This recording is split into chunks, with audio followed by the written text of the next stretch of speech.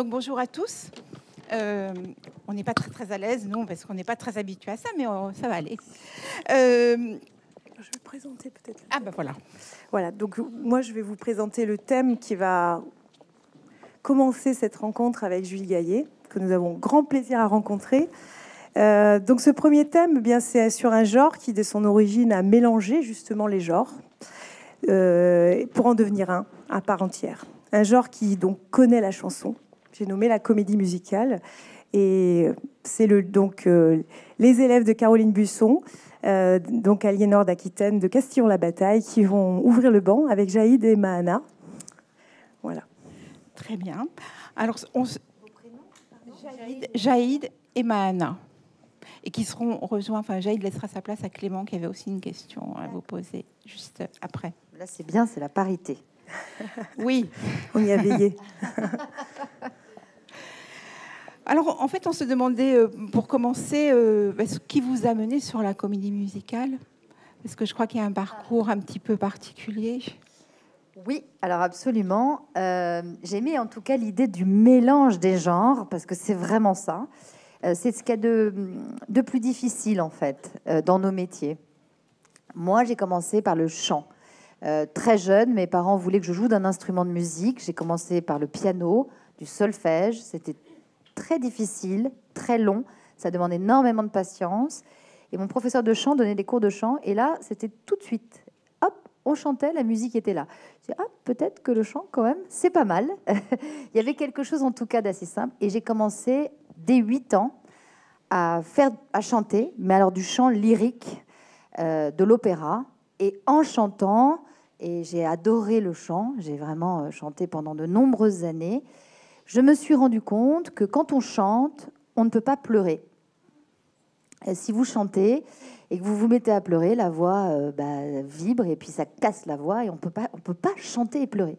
Et je jouais et j'interprétais un opéra dans lequel mon personnage était très triste et j'avais envie d'être complètement emportée dans cette émotion et je me suis rendu compte qu'il fallait que je m'arrête. Donc, ah, et mon professeur de chant m'a dit, mais non, ça, c'est l'interprétation, c'est les cours de théâtre, c'est la porte à côté. Alors je suis allée ouvrir, je ne connaissais pas, je suis pas du tout de ce monde-là. Mes parents euh, sont voilà pas pas pas du tout dans, personne n'est dans le spectacle dans ma famille, donc déjà qu'ils aient eu envie qu'on fasse un instrument. Donc je vais dans un cours de théâtre et là je me suis dit c'est ça que je veux faire.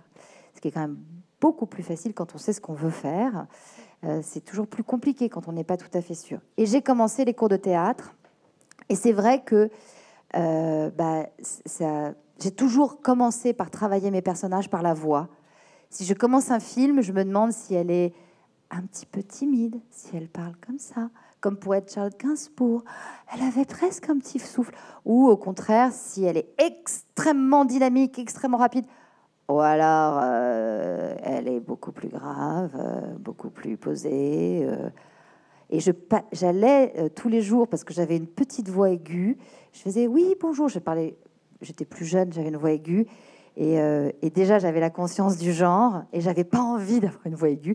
Donc, je travaillais ma voix et j'allais tous les jours à la boulangerie. Donc, à l'époque où je prenais ces cours de théâtre, je devais avoir 15-16 ans.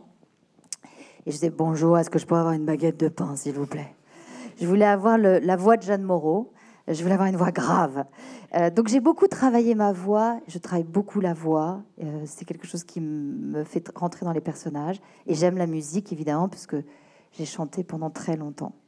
Et puis quand j'ai commencé à jouer, euh, j'ai pris beaucoup de cours de théâtre. Euh, dans ma famille, alors ça, ça a été un problème. Mes parents m'ont dit, oh là là, comédienne, c'est pas un métier où tu auras une vie équilibrée, c'est compliqué. Euh, cite-moi le nom d'une actrice qui a une vie équilibrée pour avoir des enfants. Et je ne connaissais pas la vie des actrices, donc je dis Romy Schneider. Très mauvaise réponse. Donc, euh, mais j'ai quand même réussi. Euh, voilà, elle a eu une vie compliquée, euh, assez douloureuse.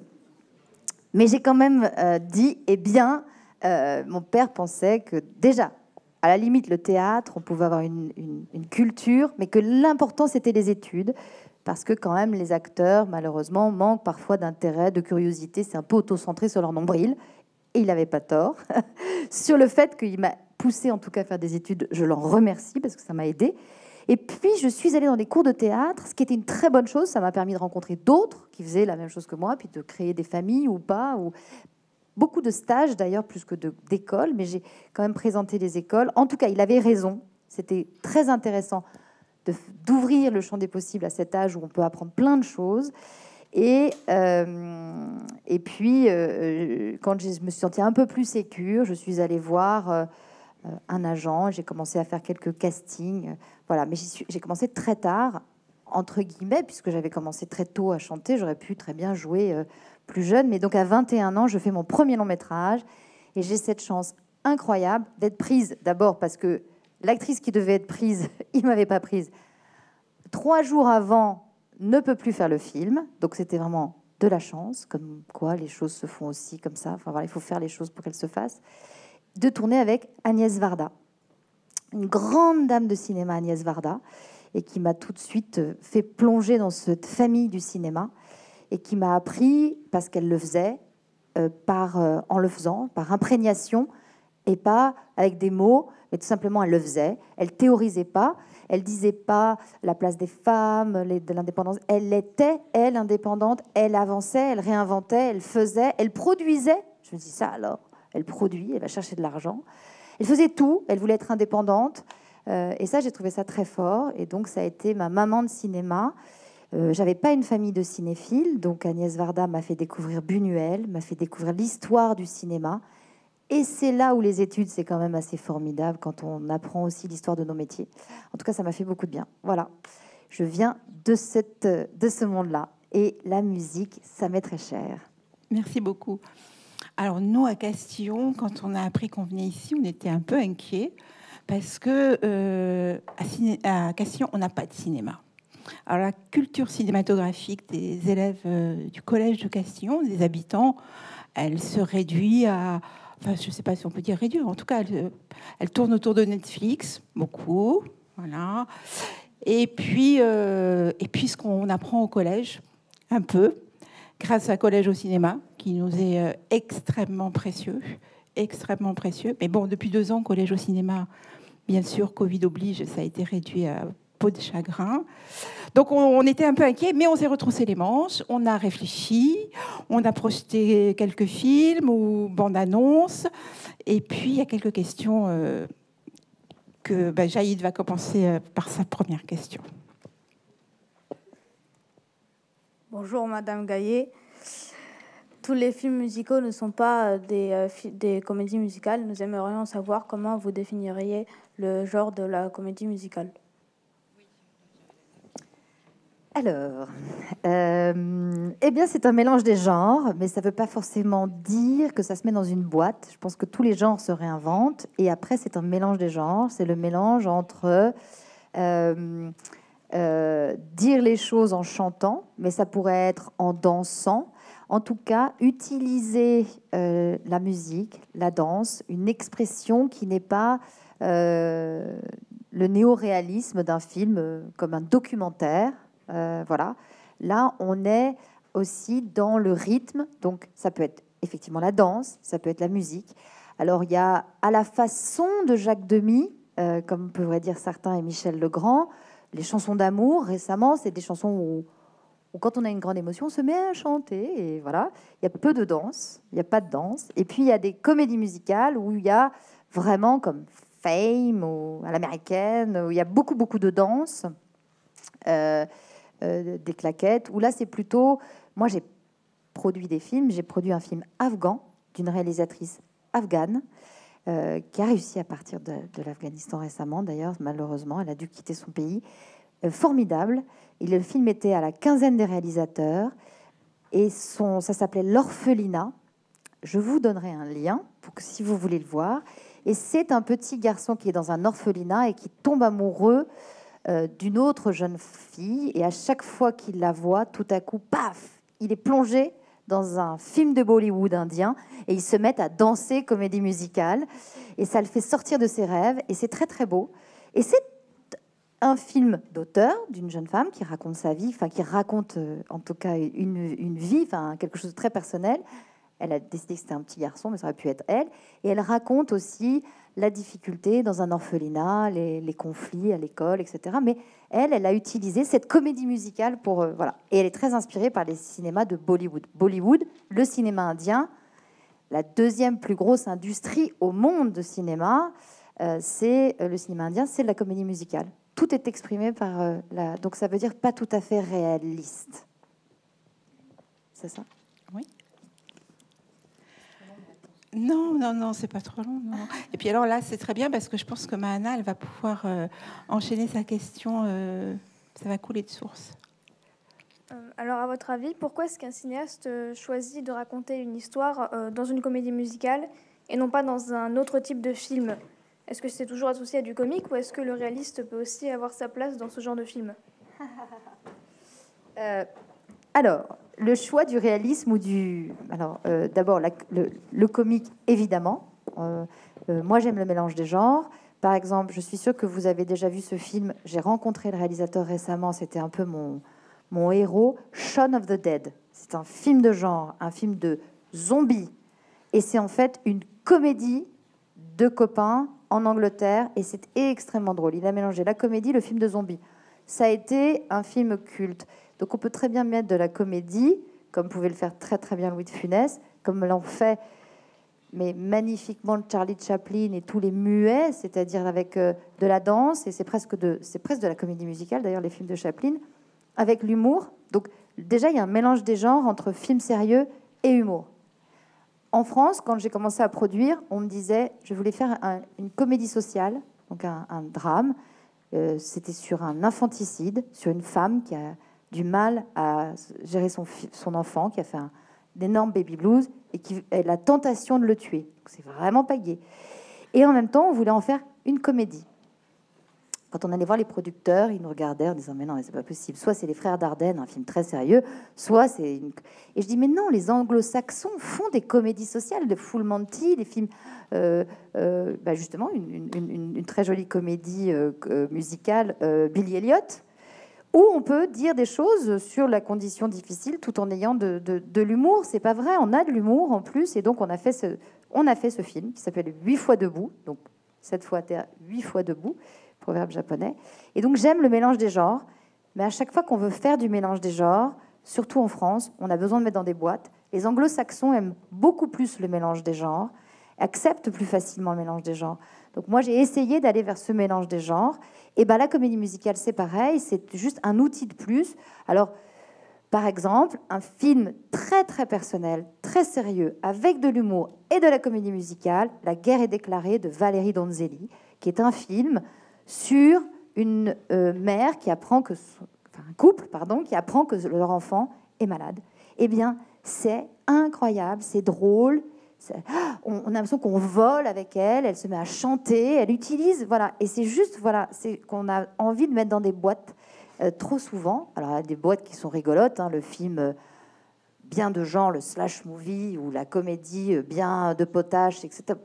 et, évidemment, mais c'est tellement bien de mélanger. Donc, je pense que c'est un outil supplémentaire d'imagination et en tout cas sur donc ça sur le mélange des genres sur réaliste ou non réaliste, c'est une façon de voir le monde, en fait. Un metteur en scène, il a juste, pour moi, c'est comme un artiste. Il voit le monde autrement, avec son goût à lui. En tout cas, euh, après nous, on est tout un tas de gens autour à travailler avec ce, cette personne qui a une vision différente du monde et c'est génial. Il y a plein de techniciens, il y a plein de gens au son, il y a plein il y a des acteurs, les producteurs. On est tous là pour l'aider même la billeuse, tout le monde, hein, on fait tous la maquilleuse, on est tous là pour lui. Et lui, il voit le, monde soit de manière très réelle, mais même dans le réel, il a un point de vue, il a une façon de voir les choses. Et parfois, il préfère que ce soit un peu irréel, donc ça peut être dans une forme comme, euh, bah, je ne sais pas, par exemple, Amélie Poulain, très euh, pas réel, mais qui raconte évidemment énormément le réel. Hein. Euh, c'est une façon de raconter des émotions et c'est sa façon de faire. Et donc, en fait, pour moi, un metteur en scène, de toute façon, c'est un point de vue. On croit que c'est réel, mais en réalité, c'est son point de vue, c'est sa vision que vous avez. Et, euh, c'est toujours une vision de quelqu'un avec un point. De... Même si c'est toute une équipe. Hein. moi, je pense qu'il y a toujours une équipe. C'est jamais un, travail seul. Ça se fait C'est vraiment un travail d'équipe, nos métiers. Vraiment, vraiment. Donc voilà, bon, je suis un petit peu longue. J'essaie d'être moins longue à On va chaque fois. passer la parole à Clément. Clément, il a une question qui, qui vient du fait que quand on a visionné euh, avec le petit groupe La Décordée de la réussite de cette année, on a visionné, euh, on connaît la chanson. Les... Je peux, je peux rebondir parce que c'est les cordées de la réussite. Oui.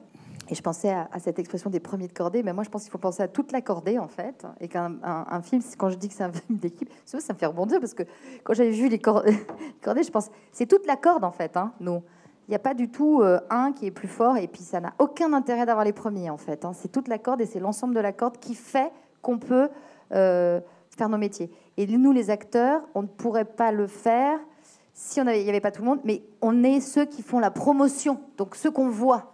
Enfin bon, euh, un acteur, s'il n'y avait pas toute l'équipe, il n'y a rien, il n'y a personne. Voilà. Bon, je dis juste ça parce que c'est important que ce Oui, soit. oui. Donc, quand on, a, culte quand, on a, de- quand on a projeté aux élèves hein, ce, ce film, bah, les réactions étaient très diverses. Certains, ont- on va le dire, hein, certains n'ont pas beaucoup aimé, mais ils ont le droit aussi. Mais ça, du coup, ça a suscité des questions. Et la question. euh, En fait, au collège, on se demandait si. euh, Enfin, en tout cas, on n'était pas intéressé euh, trop par les comédies musicales. Et on se demandait pourquoi. Et, euh, ben, pour, euh, et on se demandait si vous pouvez nous aider à comprendre. Et aussi, est-ce que vous avez toujours aimé les comédies musicales? Alors, je, disais Charlie Chaplin, c'est The Kid, les premiers films de Charlie Chaplin. Pour, moi, c'est une musique.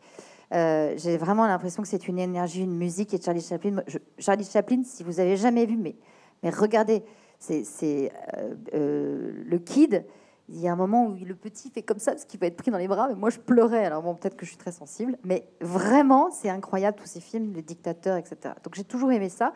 Et puis il y a eu des comédies musicales. Là, par exemple, euh, bon, West Side Story, c'est des histoires de, de gangs. Je, je sais pas, je l'ai montré à mes fils, ils avaient euh, peut-être, euh, ils étaient au collège, donc je, 13, 14, je pense. Et, ils sont restés fascinés parce que c'était des histoires de gangs, de bandes, et ça ressemble quand même à beaucoup ce qu'ils vivent. Et moi, je peux vous dire qu'à Paris, il y a des histoires très, très, similaires. Et en même temps, c'était vraiment d'époque. Alors là, en plus, vous avez un super cinéaste qui s'est amusé à faire des scènes avec des plans de dingue. Donc allez le voir, hein, le nouveau West Side Story, c'est génial. C'est filmé de l'intérieur. Enfin, il s'est amusé, je pense, pour ses petits enfants. Il a dû se dire ça. J'ai tellement vu avec mon père. Je trouve, euh, voilà, déjà le premier était incroyable, mais alors là. Puis après, il y a eu Grise. Moi, Grise, je connaissais toutes les chorégraphies, euh, j'adorais ça. C'est un peu TikTok, quoi, en fait. hein. C'est-à-dire qu'on allait voir la, la, la, comédie et on faisait toutes les chorégraphies. Donc vous pouvez les regarder. Il y a ce plaisir du karaoké, de connaître tout par cœur, euh, de s'en amuser. Et en même temps, ça traite de sujets sur l'apparence, sur l'école, sur... euh, voilà, moi j'ai toujours aimé la comédie musicale, mais après, c'est un genre qui aujourd'hui est compliqué en France. Et là, c'est plutôt mon métier, plutôt que d'actrice, de productrice qui pourrait vous l'expliquer qui du coup n'est pas très bien fait en France, ou parce qu'il n'y a pas suffisamment de moyens, euh, probablement. C'est pour ça que c'est joli de voir que la jeune génération de réalisateurs, ils utilisent ce genre-là en le mélangeant avec d'autres choses. Euh, et ça, c'est vraiment bien. Et je pense que TikTok est en train de faire changer les choses aussi. C'est incroyable, TikTok, pour ça. Ça vous fait redécouvrir des vieilles chansons. Euh, et puis, ça, remet au goût du jour. et donc, vraiment, on voit les jeunes réalisateurs qui utilisent plus le chant. Mais après, c'est des histoires de production. Donc, il y en a plus en Inde. C'est même le genre qu'utilisent les Indiens. Il y en a partout dans le monde de la comédie musicale. Mais en France, on n'est pas très fort avec les films de genre. D'abord parce qu'on ne savait pas très bien les financer. Et aussi parce que la comédie musicale, donc ça c'est mon côté productrice. Est-ce que vous, vous savez ce que c'est qu'une productrice? Ouais? Non? Oui? Bon, je, je fais un petit, petite explication. de la Ouais, je pense que c'est important que, que vous sachiez de plus près quel est ce métier, puisque Julie Gaillet combine deux choses rares dans ce métier, à la fois actrice et productrice. Ouais, alors c'est pas faux sur rare parce qu'en fait, euh, euh, quand j'ai commencé, j'étais la seule actrice qui produisait des films sans jouer dedans. En fait, les actrices productrices jouent dans leurs films ou ce sont des actrices réalisatrices qui produisent leurs films de réalisatrices. Et donc quand j'ai commencé, on m'a regardé genre mais comment ça tu produis des films et tu ne joues pas dedans? Bah oui, parce que quand on est acteur, on peut avoir envie de, de rôle et de se, de se dire je vais développer des films pour les produire, pour les jouer. Moi, j'avais envie d'accompagner des réalisateurs, j'avais envie de, de ce regard très pertinent. Parce que on dit, alors euh, oui, parce que c'est mon, mon opinion hein, sur le regard des réalisateurs. Moi, les, réalisateurs que j'aime, ce sont des réalisateurs, ce qu'on appelle un cinéma d'auteur, mais moi que j'aime pas du tout parce qu'ils sont tous auteurs, ils ont tous écrit. C'est-à-dire un cinéma plus personnel. Euh, c'est un cinéma où, je me dis, tiens, le réalisateur, il est un peu artiste, il a une vision différente. Mais il existe un cinéma. euh, les Américains, ils disent directors driven, conduit par la, par la réalisation. Ces films-là. Et puis il y a des films qui sont euh, euh, conduits plus par l'histoire. Euh, c'est vraiment l'histoire qui fait que on va voir ces films-là. Ça pourrait être n'importe quel réalisateur derrière. Donc voilà, moi j'aime j'aime les réalisateurs et donc je voulais aider plus les réalisateurs à faire des films. Et en fait, producteur, c'est-à-dire, on commence avec un réalisateur sur l'écriture, donc on est à une table en train d'écrire, penser, imaginer. Et d'ailleurs, la phrase qui résumait ma société de production, c'était L'universel commence quand on pousse les murs de sa cuisine. Et c'est vraiment vrai. Si vous êtes le plus sincère avec vos histoires à vous, hyper personnelles, vous pouvez toucher le bout du monde. Euh, une fille qui est en Tunisie, euh, au fin fond de, de- son petit village et qui ne connaît rien, si elle voit un film de Brian De Palma, elle se dit comme euh, Carrie, ok, c'est un film de genre, elle a 15 ans, elle aussi elle a ses règles, Carrie elle aussi elle a ses règles, tout à en voyant le film, fait mais c'est ma vie. Alors que euh, Brian De Palma et la fille qui est en Tunisie, bah oui, mais c'est ça le cinéma en fait, c'est qu'on peut se retrouver à l'autre bout du monde. Donc si vous vous racontez un truc hyper vous, et moi j'ai vraiment produit des films hyper euh, personnels comme Grave de Julia Ducournau, eh ben ça a touché le monde entier. Le film a fait le tour du monde. En fait, c'est ça le cinéma, c'est un art, mais comme l'art en fait. Et moi j'aimais bien les réalisateurs et je voulais les accompagner plus. Et donc je commence dans la cuisine et on commence à réfléchir et à écrire. Ça commence par l'écriture. Après, c'est vendre. Je suis devenue vendeuse. Donc après avoir été éditrice, c'est-à-dire elle écrit, elle me le donne, je relis, je fais des notes, elle repart avec un scénariste, un co-scénariste, une autre personne qui travaille avec elle ou pas. Après, ces allers-retours. Quand on se dit qu'on a quelque chose de bien, on fait un petit dossier de présentation. Donc là, on est un peu graphiste. Après, on est vendeuse. On va aller voir les chaînes, les producteurs, faut les connaître, faut avoir un petit peu moi, j'avais bossé un peu dans ce métier, donc c'est vrai que quand on, au début on connaît personne, ben, on rentre dans une petite boîte de prod, on commence à connaître des gens, puis on fait un chemin. On peut aller à l'école aussi, mais après il faut être. Je me suis dit bon bah je vais, je vends. Maintenant, il faut savoir faire un devis, savoir combien coûte. Donc, on va voir quelqu'un d'autre. C'est toujours des histoires de euh, donc un directeur de production, enfin quelqu'un qui lui fait les chiffres, me, me dit combien ça va coûter, en gros, hein, ce truc-là, euh, de tous les, chefs de poste. Après, on peut, en fonction de l'univers du film, c'est plus ou moins cher. Après, on fait un plan de financement. Donc là, bon, c'est un peu de la finance. Là, je deviens, euh, je, fais de l'économie. Maintenant, je peux aussi aller à. J'avais été dans une Sofica apprendre. Il faut faire un peu de juridique, apprendre les, contrats aussi, comprendre les contrats. Si tu connais rien, tu prends un bon avocat. Si t'es pas très bon pour le côté économique, tu prends un très bon directeur financier. En tout cas, tu fais des contrats, tout ça. Et puis après, c'est quand même, une fois que tu as financé le film, réussi, que tout est là, le film part en tournage. Mais là, quasiment, tu as déjà gagné une grosse bataille. C'est limite, c'est ouais, on l'a fait. Maintenant, il faut le faire. Donc là, on tourne le film. Après, quand le film est tourné, c'est nous, pendant le tournage, c'est le producteur qui regarde et qui vérifie que tout se passe bien. Il y a ensuite, donc c'est un peu les grandes vacances. Là, c'est la colonie de vacances. Ils partent tous ensemble, ils font le film. C'est- toute une équipe qui travaille ensemble. Quand ils reviennent, il y a le montage qui est la deuxième écriture. Là, on a des images. Euh, Parfois, on a raté des choses. Parfois, ça n'a pas marché comme il faut. On réécrit, on rajoute de la musique, on met des fondus enchaînés, on remonte le truc. Donc là, c'est un autre. C'est pas le scénariste, c'est le monteur. Enfin, c'est comme il réécrit avec le réalisateur. Et moi, je suis encore l'œil extérieur, la personne qui regarde, qui donne son avis, qui dit non, non, vous vous trompez. Ce que vont dire après les critiques, j'essaye de leur dire avant. On réfléchit sur le sens. Est-ce que c'est vraiment ce qu'on raconte? Qu'est-ce qu'on raconte? Et après, à qui on le donne pour aller le vendre pour les festivals internationaux? Et qui va le sortir en salle? Faire la bande-annonce, réfléchir à l'image? Enfin voilà, c'est donc de l'idée jusqu'à la sortie, les festivals, jusqu'à ce que vous le voyez en salle et le vendre. et il y a euh, probablement une responsabilité euh, financière qui est évidente. Les banquiers, bah, c'est moi qui suis responsable. Donc on a plein de moyens super en France pour aider les jeunes producteurs avec des systèmes bancaires formidables. Mais enfin, le producteur est responsable financier, mais il est aussi responsable moral. Ça veut dire que si le film est raciste, est un film antisémite, et que donc il est euh, considéré comme euh, euh, nuisible et donc condamné, et eh ben ceux qui vont en prison, c'est les personnes qui sont moralement responsables. Donc il y a le réalisateur, le scénariste et la productrice, parce que j'ai une responsabilité morale sur le choix. Donc je suis aussi déterminante dès le début jusqu'à la fin. J'ai la responsabilité financière et morale. Le réalisateur a la responsabilité morale, pas financière. Par contre, en France, c'est le réalisateur qui a le final cut. C'est lui qui décide de son film. Il dit Je ne suis pas d'accord avec toi au montage. Alors, c'est des bagarres qui peuvent durer des mois. C'est lui qui a le dernier mot. Aux États-Unis, c'est le producteur qui a le dernier mot. C'est lui qui dit non, non, c'est comme si et c'est pas autrement.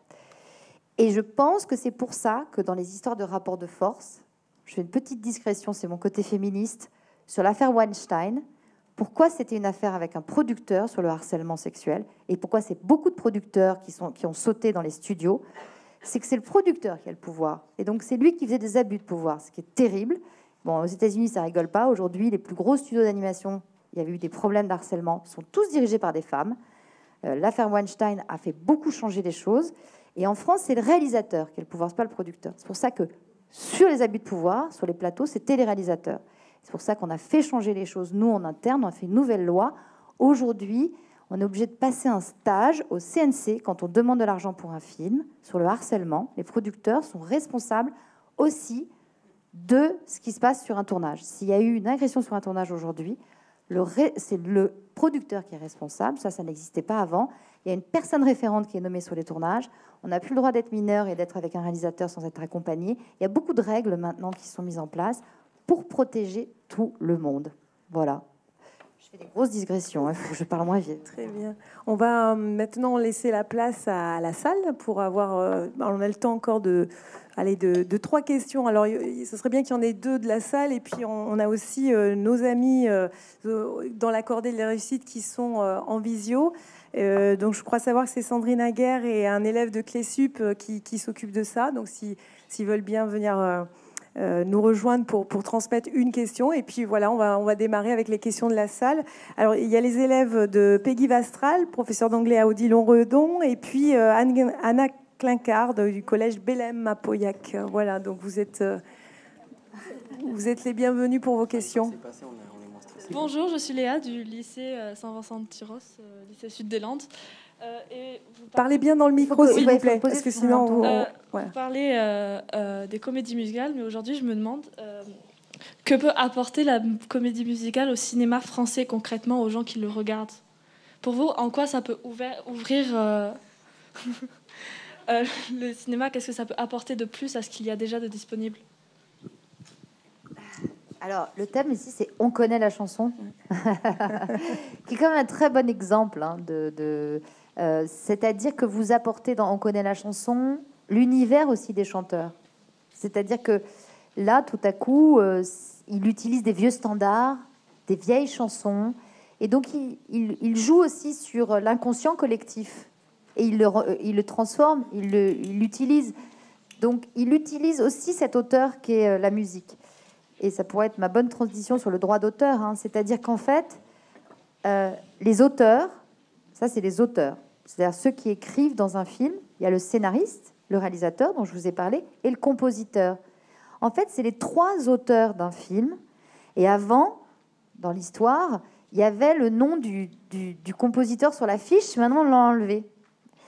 Avant, euh, alors il y a toujours au César et aux Oscars la meilleure musique, mais à Cannes, pour la Palme d'Or. Donc Demi Legrand, par exemple, ben, euh, Demi a eu la Palme d'Or pour les parapluies de Cherbourg. Ben, euh, Michel Legrand, il est resté dans la salle, le compositeur, il n'est pas monté sur scène parce qu'il n'y a pas de prix de la musique. Il y a un prix du scénario, un prix du meilleure réalisation. Il n'y a pas de prix pour le compositeur, pas de prix de la musique. Mais le compositeur, quand même, c'est un auteur, donc c'est un artiste en fait. Et ça fait souvent peur d'ailleurs au réalisateur de faire venir un autre artiste. Parce que c'est un autre univers. Il doit se frotter à un autre univers. C'est toujours plus compliqué. Il préfère. euh, il y a un truc un peu plus auto-centré quand même. Mais ça peut être très enrichissant de, mélanger de l'ailleurs. C'est moi ça que j'aime le mélange des genres. C'est que, que ça nourrit, quoi. Avoir, un peu d'ailleurs, d'autre chose, une autre discussion avec d'autres. Et donc, il faut faire confiance. Il faut laisser un artiste. On peut pas lui dire fais ci, fais ci, fais ça. Et parfois, les réalisateurs français ont tendance à arriver au montage, cette dernière écriture, avec aucune idée de ce qu'ils veulent, avec la monteuse qui pose des musiques, parce que comme il sait pas où il met des musiques qu'il a chez lui dans son truc, il pose des musiques à des endroits, il connaît pas assez la musique. Très rarement, il va voir un compositeur avant, il lui raconte son film, il lui demande de composer, puis de, de se laisser aller, de s'amuser. C'est très rare, mais ça arrive, ça se fait. Mais c'est souvent, la majorité du temps, au montage. Et là, ce qu'il fait, et qui est atroce, il va voir des musiciens en disant Tu peux me faire la musique à la façon de. Tu peux me copier l'air de. Enfin, c'est atroce, c'est vraiment. Mais parce que c'est agréable de se dire On pense, par exemple, je vous dis, euh, euh, Le Grand Bleu, vous avez la musique d'Éric Serra. Euh, David Lynch, quoi. Bon, peut-être David Lynch, vous connaissez pas, mais je ne sais pas n'importe. Il y a des, films. la musique a fait l'univers de ce, mais même des séries. Je, je sais pas. euh, Là aujourd'hui, vous regardez, j'imagine pas mal de séries, mais pensez au générique et la musique, c'est impressionnant, quoi. En fait, la musique, on dit que c'est la première chose qu'on a entendue dans le ventre de sa maman, c'est les battements de cœur. Poum, poum, poum, poum, poum, poum. Donc le premier truc que vous avez entendu, c'est de la musique. Donc, c'est la rythmique. Et c'est pour ça qu'on aime la rythmique. C'est pour ça que l'électro, il y a cette espèce de sensation, parce que c'est ce que vous avez entendu dans le ventre. Et qu'en réalité, là, je vais faire son plutôt que musique, mais le son d'un film, avant même que vous ayez peur, la musique, le son va arriver à vous et vous fera plus peur. Les Américains, c'est 90% de la musique et du son qui retravaillent après. Nous, on prend beaucoup de sons directs, on travaille un peu différemment. Et donc, peut-être que le fait d'aller vers la comédie musicale, ça permet de vous donner des émotions avant et même euh, jouer avec le genre. Et puis, ça peut permettre d'aller dans des émotions primaires, quoi, ces émotions qui, vous tétanisent. Enfin, sincèrement, hein, vous enlevez le son d'un film, vous allez avoir nettement moins peur, moins d'émotions. Euh, à l'inverse, si vous avez un très bon son, ça vibre, c'est incroyable. En fait, le son, c'est primaire, ça- c'est votre truc instinctif et c'est très, très, très fort. Voilà, euh, j'ai répondu. Non, c'est trop long. Je parle beaucoup. Hein. Alors, une autre question? Euh, bonjour. Ça marche? Ça marche? Oui, c'est bon. Euh, bonjour, moi c'est Eliette du lycée euh, François Mauriac à Bordeaux. Donc la comédie musicale, c'est un genre qui est quand même vachement cadré sur les années 50, les années 60. Mais on se demandait si aujourd'hui il y avait réellement un renouveau ou si c'était plutôt pour refaire ce qu'on avait déjà fait dans le passé. Ah ah, bonne question. Alors, je vous conseille, malheureusement, ils viennent d'arrêter, c'est quand même terrible, mais il y avait ce qu'on appelle la troisième scène à l'opéra. Il y avait l'opéra Bastille, l'opéra Garnier, le vieux classique Garnier, Bastille nouveau, ça ressemblait quand même pas mal au final, même si ça devait être soi-disant très différent. Et puis, euh, ils ont monté un truc dément qui s'appelait la troisième scène, où ils faisaient des films avec des chorégraphes et et c'est incroyable comme ça a fait bouger les gens de l'opéra. Alors je pense qu'Aurélie Dupont aussi beaucoup, hein, mais ils ont fait un spectacle qui s'appelait, euh, et donc il y a un film que vous pouvez voir sur YouTube, que vous pouvez essayer de vous procurer, c'est très facile, Les Indes galantes. Les Indes galantes. C'est une compagnie, c'est du, de la musique, de, c'est de la danse de rue, de, une danse en plus très particulière, une danse de combat, une danse, c'est la horde, c'est donc c'est complètement tribal, mais dingue, c'est genre du rap, un truc complètement fou, parce que c'est aussi un art martial, enfin l'ensemble est complètement génial, qui viennent faire un ballet, et ils en ont fait un film, et ils en ont fait une comédie musicale. Mais je peux pas vous dire, il faut le voir, hein, c'est sensoriel, ils font des images, des plans. Regardez-le, vous allez voir. Et si vous regardez le ballet de Marseille, la Horde, et la façon dont ils sont en train de retravailler, je pense qu'on est en train d'arriver dans quelque chose d'un peu plus moins classique en France sur la comédie musicale. C'est-à-dire que la comédie musicale française, elle avait ce petite résonance des années 50-60, donc ça me fait rire que tu dis ça. Mais c'est en train de changer beaucoup. Moi, j'ai donc développé, et malheureusement, j'ai produit un film, mais on n'a pas réussi à monter son deuxième long métrage, d'une réalisatrice, Diana Gaille, qui avait fait un court métrage qui s'appelait L'Omnibus. Euh, elle a fait un film de comédie musicale sur des ouvriers dans une usine, et c'était euh, des danses un peu africaines. Euh, c'était complètement fou, c'était pas du tout les années 50. Elle utilisait vraiment la comédie musicale. Elle, a fait un film on a, que j'ai produit, Des Étoiles, qui donne un, point de vue complètement différent sur l'immigration et le Sénégal. Enfin, elle, fait toujours tout à l'envers, mais c'était d'une modernité. Dans le court métrage, on en voit beaucoup, beaucoup. Pourquoi après, donc ces deux films-là, c'est des films courts, pourquoi après c'est compliqué d'en faire des longs en France? C'est encore une question de production. C'est que on finance les films de telle manière, nous en France, euh, que quand on a lancé le financement, il faut le tourner très vite dans l'année. Donc on a entre le moment où on finance, le moment où on prépare et le tournage, eh ben, ça veut dire que la préparation, c'est trois, cinq mois maximum. On peut arriver à six si c'est un gros, gros budget. Il y a très peu de films à très, très gros budget qui acceptent de faire des comédies musicales. Or, la comédie musicale, c'est un an et demi, deux ans de travail. C'est comme un opéra, c'est deux, trois ans. L'opéra, c'est deux ans pour faire un opéra. Donc, ça veut dire une grosse préparation. C'est-à-dire financer des tas de gens avant et on ne sait pas faire ça dans le cinéma français. C'est notre façon de financer qui fait qu'on ne fait pas des super comédies musicales. Mais parce que les choses s'allègent, parce que les jeunes travaillent avant euh, entre eux, euh, je pense qu'on va arriver à quelque chose de nouveau, de plus moderne, de plus, euh, encore une fois, j'allais dire, sensoriel de, de, notre génération, de votre génération, et que ce sera beaucoup moins années 50, vous verrez. Enfin, je l'espère. Une dernière question pour ceux qui sont en visio, peut-être, parce que pour leur laisser un peu de la parole. Bonjour Madame Buisson. Euh, c'est bon. Ça, c'est Fayot. Hein. Donc, euh, c'est pour savoir euh, pourquoi il n'y a pas autant de femmes dans le cinéma. Ah, cette question, elle me fait hyper plaisir. Hein. Euh, je rappelle qu'on a un temps, enfin bon, on va y répondre bien sûr, mais c'est le troisième thème. Donc euh, voilà, tout ce qui est autour de, la représentation des femmes dans ce métier euh, et, de la parité en général. Eh ben alors, qu'est-ce qu'on fait? On en parle après ou peut-être pour rester dans, dans, dans notre fil conducteur. alors promis, je te réponds tout à l'heure parce que j'ai parlé aussi du jeu vidéo. Donc hum. tout à l'heure, on parlera de tout ça. Parce que maintenant, il y a une association qui s'est montée il y a deux ans qui s'appelle Women in Games. Alors faites gaffe, les filles arrivent dans le jeu. Hein. Et peut-être on prend une dernière question. Alors du coup, euh, voilà, toujours sur le thème des comédies musicales. Euh, alors bonjour, donc moi je m'appelle euh, Anas, je suis lycéen au lycée Odilon Redon à Pauillac. Alors pour le coup, moi j'ai une question un peu plus ouverte sur l'avenir. avec tout ce que vous entreprenez, donc comédie musicale, film, etc., euh, est-ce que vous avez des projets futurs? Donc, est-ce que vous comptez, rester dans cette lancée ou euh, innover encore, euh, encore plus? Pourquoi pas? Donc voilà. C'est une bonne transition. alors, donc j'ai été comédienne et franchement, j'adore mon métier d'actrice énormément. quand j'arrive sur un plateau, je suis comme Marcello Mastroianni, je dis qu'on est des enfants gâtés on vient nous chercher, on nous maquille, on nous dit qu'on est belle toute la journée. La machine à café est à 50 mètres, on lui dit tu veux un petit café? Et on nous l'apporte. On peut même pas se lever. Euh, voilà, donc c'est assez facile. C'est un bonheur de jouer, même s'il y a des émotions très dures à jouer, il faut pleurer.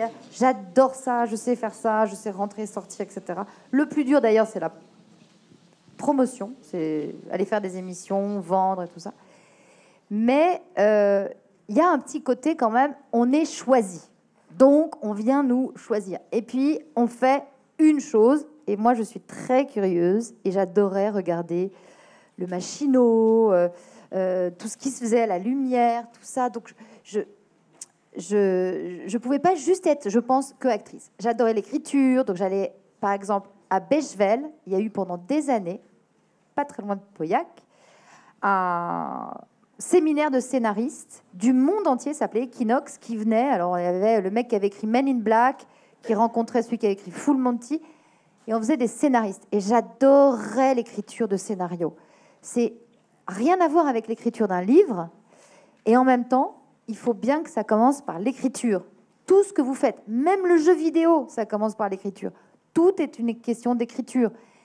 Mais c'est pas la même écriture. C'est quand on écrit la littérature, on choisit des mots, un champ lexical qui vous fait comme une poésie. C'est votre univers.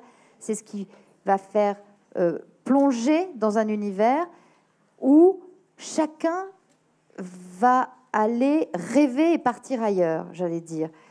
On lit pas tous la même chose quand on lit. C'est de l'émotion, c'est de la poésie. Le regard ou la couleur du réalisateur, du, du, de l'écrivain, c'est ses mots, c'est ce choix des mots, c'est sa façon de scander, d'écrire. Un scénario, il faut que toute l'équipe lise la même chose. Donc on va pas mettre de la poésie, hein, il ne va pas y avoir des mots très compliqués. Donc c'est une simplification de l'écriture. Par contre, il faut que tout le monde ait bien compris ce qu'on fait. Donc on va dire le lieu, donc séquence 1, le lieu, intérieur nuit ou extérieur nuit. Des abréviations, ça s'apprend, c'est très facile. Vous achetez n'importe quel scénario, vous verrez. Donc c'est la nuit ou c'est le jour, c'est l'aurore, machin. Et ensuite on décrit et en gros une minute par page, une page, une minute. Donc si on a 90 pages, 90 minutes, c'est très codé comme ça, très simple. Voilà, on écrit et on met tout ce qu'on va voir, les dialogues, et, tout le monde doit lire la même chose. Donc voilà, bref, et je ne peux plus pourquoi je parlais d'écriture pour dire qu'en fait, euh, ben, tout démarre par l'écriture et tout ah est lié à l'écriture. Et tout est lié à l'écriture. Et donc après, je me suis dit, mais en fait, j'adore cette écriture. J'ai eu envie de plus produire. Je me suis mise à produire. C'est formidable. Et ça m'a permis d'aller au montage, ce que je vous racontais, cette deuxième écriture. Et là, mon jeu d'acteur a été meilleur. Je pense que parce que j'ai été regarder autrement autre chose, quand on va au montage, on comprend que c'est tout est coupé. En fait, c'est comme un puzzle. On a tourné plein plein de petits bouts, puis on les, remet ensemble. Donc sur le tournage, on a peut-être commencé par la fin du film. À la fin, on a tourné le début. Donc moi, comme actrice, parfois j'ouvrais la porte, je sors d'une scène, et puis après, un mois plus tard, on faisait la suite. Donc forcément, je pense à mon personnage, à la continuité. Mais quand je vais au montage, bon, ça marche ou ça marche pas? Est-ce que j'ai marché avec la même démarche? La monteuse, elle se débrouille, elle recolle, elle recoupe avec les erreurs, les mauvais raccords, par exemple. Ça arrive souvent. On lève pas le bras et on ne voit pas à la bonne réplique au même moment. Donc c'est casse-pied pour elle. Elle se débrouille, elle remonte.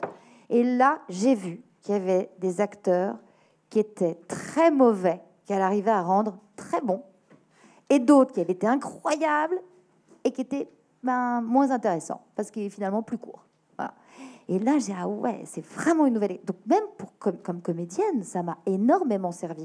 En fait, quand on va regarder un peu, qu'on ouvre un peu son regard, ben, ça aide de voir ce qui se passe à côté et pas que sur son truc technique de ce que moi je faisais si j'étais que comédienne.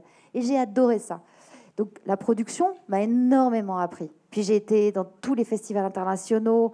Donc j'ai vu d'autres metteurs en scène, je me suis ouvert à d'autres choses. J'ai adoré la production. Euh, bon, et puis il y a eu euh, le Covid. Et là, j'avais monté la distribution. et là, ma petite société a eu un petit peu du mal, a connu un peu la crise.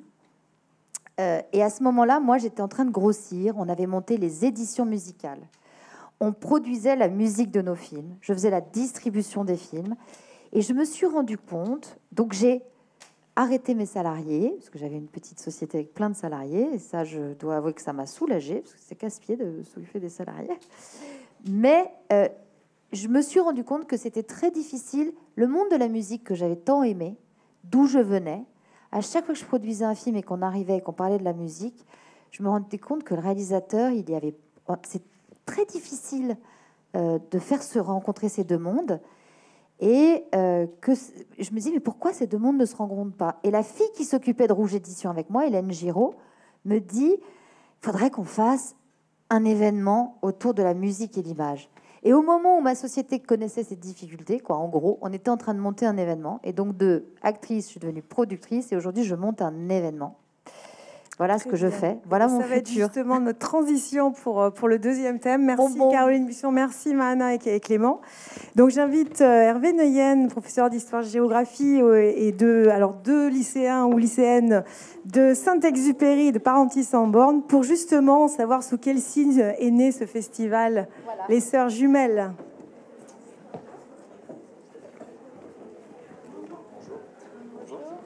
Je peux savoir vos prénoms?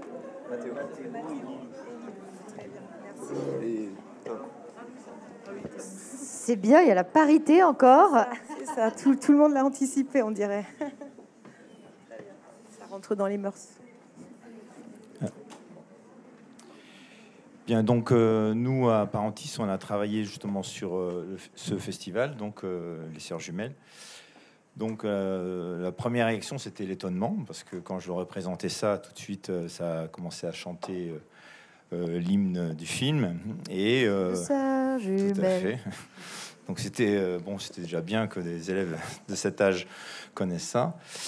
Euh, mais en fait, très vite, on, on a approfondi le sujet. On a vu qu'il ne s'agissait pas d'un festival de film ou un festival de comédie musicale, que c'était bien autre chose, en fait, hein, qu'il s'agissait de rencontres entre professionnels et que le véritable objectif, c'était de, mettre à part égale la musique et, l'image et de montrer qu'elles étaient euh, intrinsèquement euh, liées dans le processus créatif.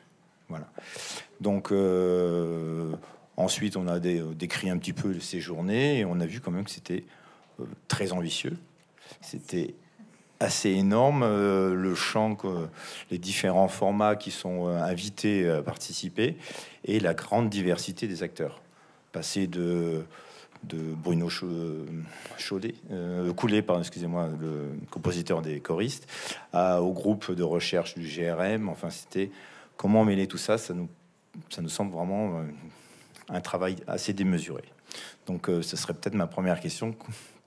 Comment, quel bilan vous avez pu faire sur la première euh, édition qui a eu lieu l'an dernier? Euh, alors, bah, euh, oui, c'est très ambitieux parce que l'idée, c'est un peu comme le mélange des genres. Enfin, on revient toujours aux mêmes choses. Moi, j'ai produit beaucoup de films qui mélangeaient le genre, tout, pratiquement tous les films que j'ai produits. Et à chaque fois, on me disait, c'est ce qui est le plus difficile, c'est compliqué. Eh bien là, c'est un peu pareil, c'est transversal. Là, je dirais que le vrai mot, c'est transversalité. En fait, quand on dit, bon, bah, l'idée c'est la musique et l'image, ces sœurs jumelles, elles sont jumelles. C'était ça l'idée. hein. Euh, c'est toutes les musiques et toutes les images. Ça veut dire quoi? Ça veut dire bah, évidemment le cinéma, la série dont on a parlé, évidemment, le documentaire, très réaliste, là pour le coup, le, le ciné-réalité, mais aussi le cinéma d'animation. Évidemment, dans les films d'animation, si je vous dis Miyazaki, vous avez tout de suite euh, les, les musiques de Joe Hisaishi. Euh, et donc de dire, bah oui, mais le jeu vidéo, le jeu vidéo aussi, bien sûr, la musique dans le jeu vidéo, c'est hyper important. Donc il y a toutes les images et il y avait aussi cette ambition d'avoir euh, une, une- visibilité pour tout ce qui est nouveau, comme la VR, euh, comme la réalité virtuelle, comme euh, euh, l'intelligence, enfin, de montrer toutes, toutes, toutes les images aujourd'hui. Et ça, c'est très difficile parce que c'est des mondes qui ne se rencontrent pas du tout. Donc déjà, juste si on avait fait un festival avec toutes les images, c'était compliqué à faire. Et en plus, on veut lui faire rencontrer toutes les musiques. Et alors, il y a un grand snobisme entre les compositeurs de musique symphonique, l'électro, euh, la chanson populaire française. Ah oui, mais ça, c'est la chanson populaire. Donc, en plus, on voulait que toutes les musiques soient présentes. Donc, une transversalité d'un côté et de l'autre. Donc, deux industries se rencontrent et il faut qu'ils arrêtent de se snober, quoi. Sauf que on a une pandémie mondiale et je pense que pour de vrai, déjà, ça faisait un moment, la série avait percuté le cinéma, ça faisait un moment, moi, quand j'ai commencé comme comédienne, euh, on pouvait pas, on faisait soit du cinéma, soit de la télé, on était un acteur de télé, on pouvait pas faire du cinéma, soit du théâtre. Marcello Mastroianni disait, mais pour de vrai, qui est un acteur de Fellini, grand acteur de cinéma, quand il a commencé, c'était le théâtre, le grand art. C'était le théâtre. Et quand il a dit qu'il allait faire du cinéma, ses parents, les gens disaient, truc euh, cinéma, quoi.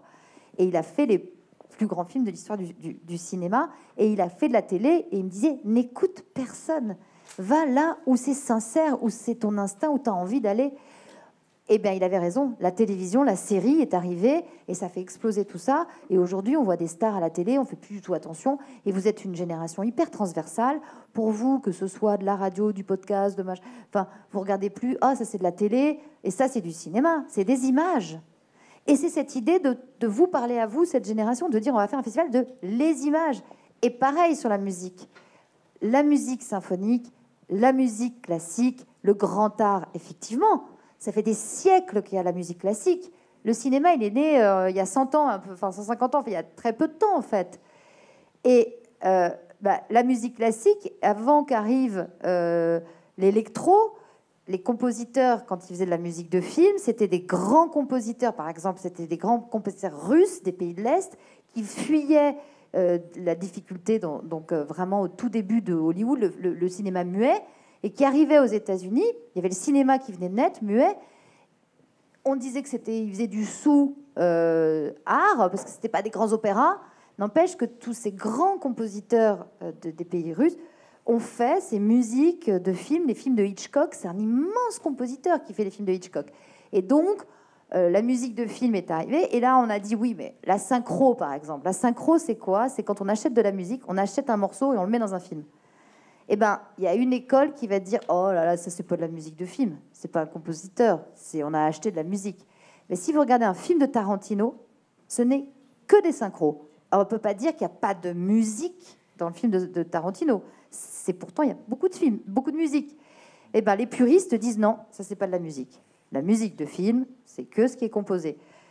Ben non, en fait, aujourd'hui, votre génération et même les, jeunes musiciens disent mais non, c'est pas vrai.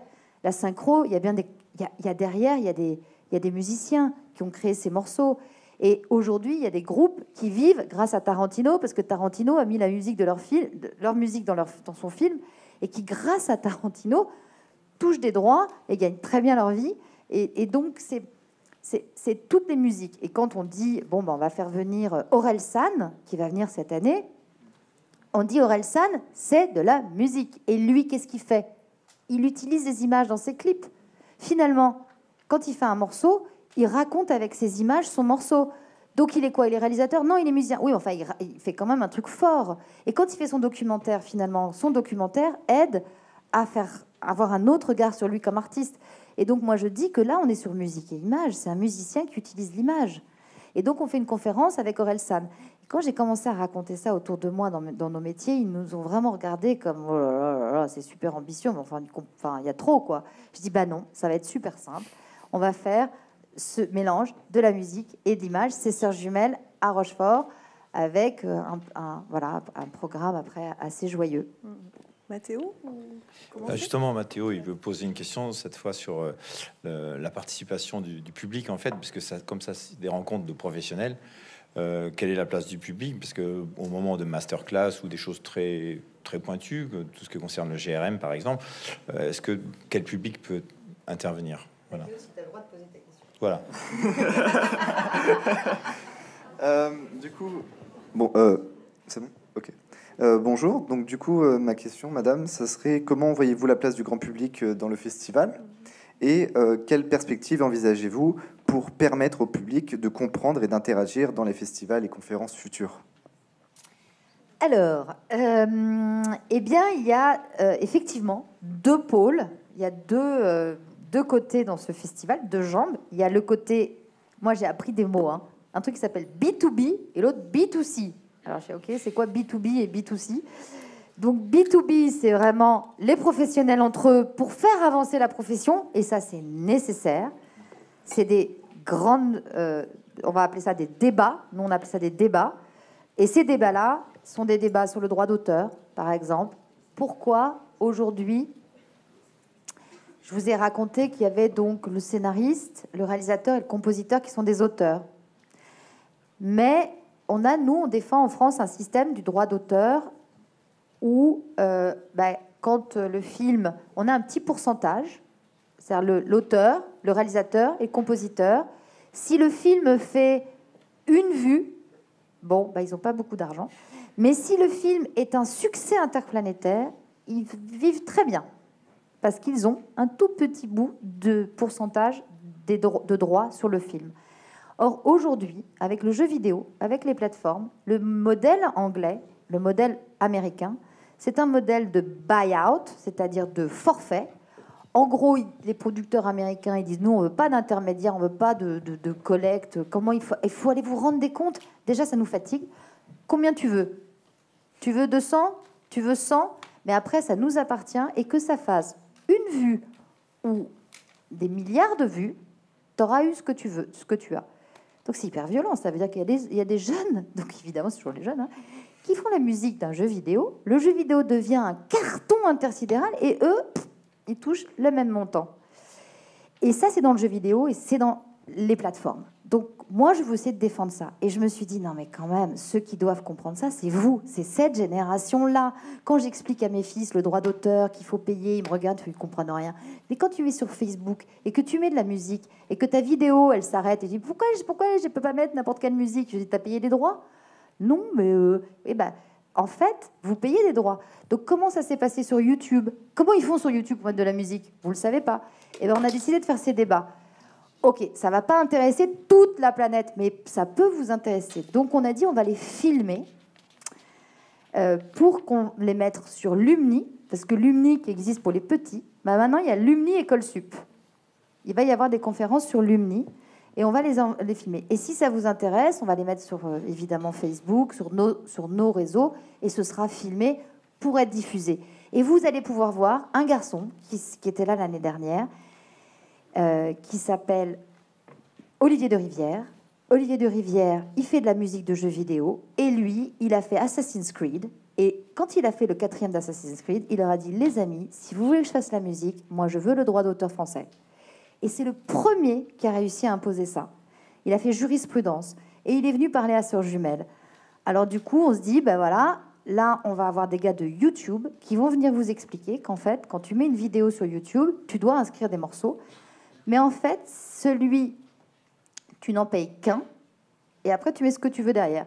Donc, ce qu'ils ont fait les youtubeurs, donc ils vont venir vous le raconter, euh, sur Jumelle, et ce sera sur Lumni, c'est qu'en fait, bah, ils en composent un E, un peu naze, mais ils mettent un tout petit bout. Puis après, ils mettent Eminem, euh, tous les gros, puisqu'ils en payent qu'un. Donc, ils payent celui qu'ils ont fait eux. Et comme ça, hop, ils ont les droits de pouvoir mettre ce qu'ils veulent derrière. Donc, et après, on va avoir un débat où ça, c'est les youtubeurs qui parlent.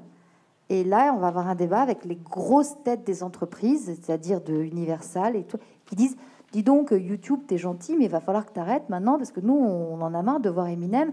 Ou l'inverse, il va y avoir un débat des grands patrons qui vont dire TikTok, c'est super, mais ils payent pas droit à personne. Pourquoi TikTok ne paye pas droit donc, est-ce que ça vous intéresse ou pas? Nous, on a envie que ça vous intéresse, mais on se dit, pour l'instant, c'est B2B, c'est entre nous.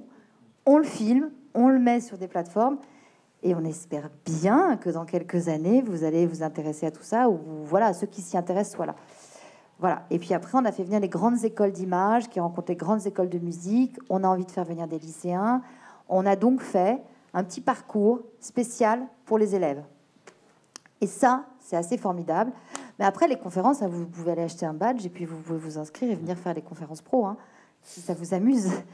Mais il y a un côté étudiant, et le côté étudiant, euh, eh ben ça, c'est vraiment quelque chose qu'on développe, où là, on a mis quatre métiers de la musique, quatre métiers de l'image, et ils viennent raconter ce qu'ils font. Euh, parce que pour nous, montrer qu'un producteur, il y a l'année dernière, il y avait un producteur de musique. Moi, je ne savais pas ce que c'était qu'un producteur de musique. Je sais ce que c'est qu'un producteur d'image, je ne savais pas.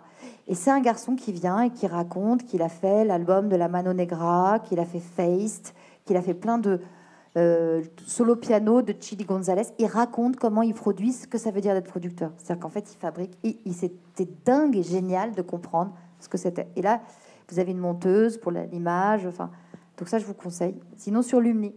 Voilà. Donc voilà, sur Jumelle, eh ben, c'est aussi un endroit pour euh, se donner des bonnes idées pour des carrières futures. Voilà, voilà exactement. voilà, exactement. Euh, alors, est-ce... Oui, oui, euh, alors merci Mathéo. Et après je parlerai des grands concerts parce qu'il y a quand même. Alors ça c'était le côté B2B et je vous ai pas développé le côté B2C et, le livre meurt. Euh, et je vous raconterai le côté B2C, c'est-à-dire le côté vraiment que pour le grand public, où là ce sont que des concerts en fait. Il y a toute une partie tous les soirs, il y a des concerts pour euh, tout le monde. Euh, alors, est-ce que la collaboration entre les spécialistes et les euh, professionnels ne dure que le temps du festival Et euh, sinon, euh, comment se prolonge-t-elle au cours de l'année? Alors, euh, bah, l'idée, c'est qu'il y a un endroit de rencontre pour créer des rencontres après. Et ça, ça a marché l'année dernière. Donc, nous, l'année dernière, on a fait un pilote parce que, comme il y avait, bah, c'était difficile de faire un vrai sœur jumelle avec du public parce qu'on n'avait pas le droit d'avoir du public. Donc, c'était un peu difficile. Mais ce que je sais, c'est que ça a créé des vraies rencontres, qu'il y a des professionnels qui se sont rencontrés, qui se sont revus et qui ont travaillé ensemble. Ça sert à ça, à la base. Euh, et ça, c'est tant mieux, parce qu'on fait vraiment des déjeuners pro pour que les gens se rencontrent. Enfin, tu vois, vraiment le côté pro. Mais après, euh, il il y a deux, autres choses. Le côté, les grandes écoles, les écoles et les lycées les grandes écoles. Ça, on aimerait, nous, euh, faire quelque chose à l'année. Donc, on a commencé à le faire Rochefort, mais on aimerait le faire dans le département et dans la région, donc venir jusqu'à vous. C'est de faire un travail à l'année euh, j'allais dire, de faire venir, je ne sais pas si vous avez envie avec votre classe, de rencontrer euh, un monteur, une monteuse, un musicien, un scénariste. Vous nous demandez, et nous, notre travail, c'est de faire un travail à l'année euh, sur le territoire, d'offrir la possibilité d'avoir des intervenants qui viennent. Et donc, les gens qui viennent chez nous, les artistes, savent qu'on peut leur demander d'aller dans une classe euh, à l'année. Et ça, ils ont tous dit d'accord, on fait ce boulot-là. Donc déjà, pendant Sœurs Jumelles, ils vont au conservatoire, euh, ils font des, des talks, enfin des discussions, des, des- comme des, des TEDx, quoi, mais dans un petit théâtre, ils parlent et ils jouent, euh, qui seront filmés. Et ça, vous pourrez, vous pourrez, vous pourrez les voir. C'est vraiment, alors ça, c'est pour le grand public, c'est pour tout le monde. Mais ils, sont, ils nous ont donné leur accord de, de pouvoir venir intervenir à l'année. Et après, le, le, le- le- pour, les, pour, le, pour les professionnels, bon, on les laisse faire tout seul un peu. Alors, ce qu'on a décidé de faire, c'est de faire forcément un site internet. Parce que aujourd'hui, il y a le côté présentiel versus non présentiel, donc le lieu physique et le lieu numérique. Pour que quelqu'un qui soit en Corée peut aussi voir le lieu, ben, on a un site internet, une plateforme où ils pourront euh, voir toutes les conférences, participer. Et donc à l'année, on va publier toute l'année euh, tout ce qu'on a vu, tout ce qu'on a fait, mais aussi des interviews. On continue toute l'année de faire vivre Sœurs Jumelles sur nos réseaux. Voilà. Je ne sais pas si ça vous a donné envie d'y aller. en tout cas, les- je parlerai des concerts après, parce que ces concerts, ils sont Oui, super. voilà. On, on va, alors on va avancer, et puis peut-être qu'il y a une question justement sur la, la part publique. Ah oui, pardon, je- j'oubliais, toi, pardon. Autant pour moi. Alors, euh, bah, moi, c'était une question plus par rapport à, à l'organisation euh, des Sœurs Jumelles. C'était, euh, on avait vu la, hum, les, euh, les partenaires qui étaient publics et privés, et euh, bah, nous nous interrogions sur euh, la part, euh, les parts respectives des partenaires euh, publics et privés, et aussi, bah, bah, surtout notre prof, euh, nous avait parlé de l'IRCAM, et euh, savoir si euh, s'il y avait euh, des collaborations futures ou euh, pourquoi ils On étaient peut pas à cause de, de l'INA, Ah. qui a les GRM Tools. Parce qu'en fait, alors après, alors c'est très très. Moi, j'ai appris plein de choses en, en faisant un événement. Je savais produire des films, mais je n'avais pas créé d'événements. Euh, c'est plus petit qu'un budget de film. Enfin, c'est bien compliqué. C'était ben, certains partenaires. euh, D'abord, c'était l'idée que, avant tout, euh, il fallait qu'il y ait le CNC, donc les institutions, le Centre national de l'audiovisuel. C'est vraiment le CNC qui gère aujourd'hui tout ce qui est image, on va dire, et même les salles de cinéma, et même le jeu vidéo. Et il y a une nouvelle institution qui est le regroupement de plusieurs, qui s'appelle le Centre national de la musique. Donc après le Centre national du cinéma, il y a le Centre national de la musique qui a été créé il y a deux ans. Et ça, c'est assez formidable, parce qu'il existe un Centre national du livre, mais on n'avait pas de Centre national de la musique. C'est quand même le comble.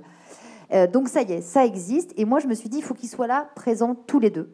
Évidemment, la SACEM, qui est un organisme de collecte, ce fameux organisme par lequel les Américains ne veulent pas passer parce que c'est trop compliqué, qui récupère, par exemple, qui disent il y a eu 25 000 diffusions de machin, ils récupèrent les sous auprès des producteurs et le redonnent aux auteurs.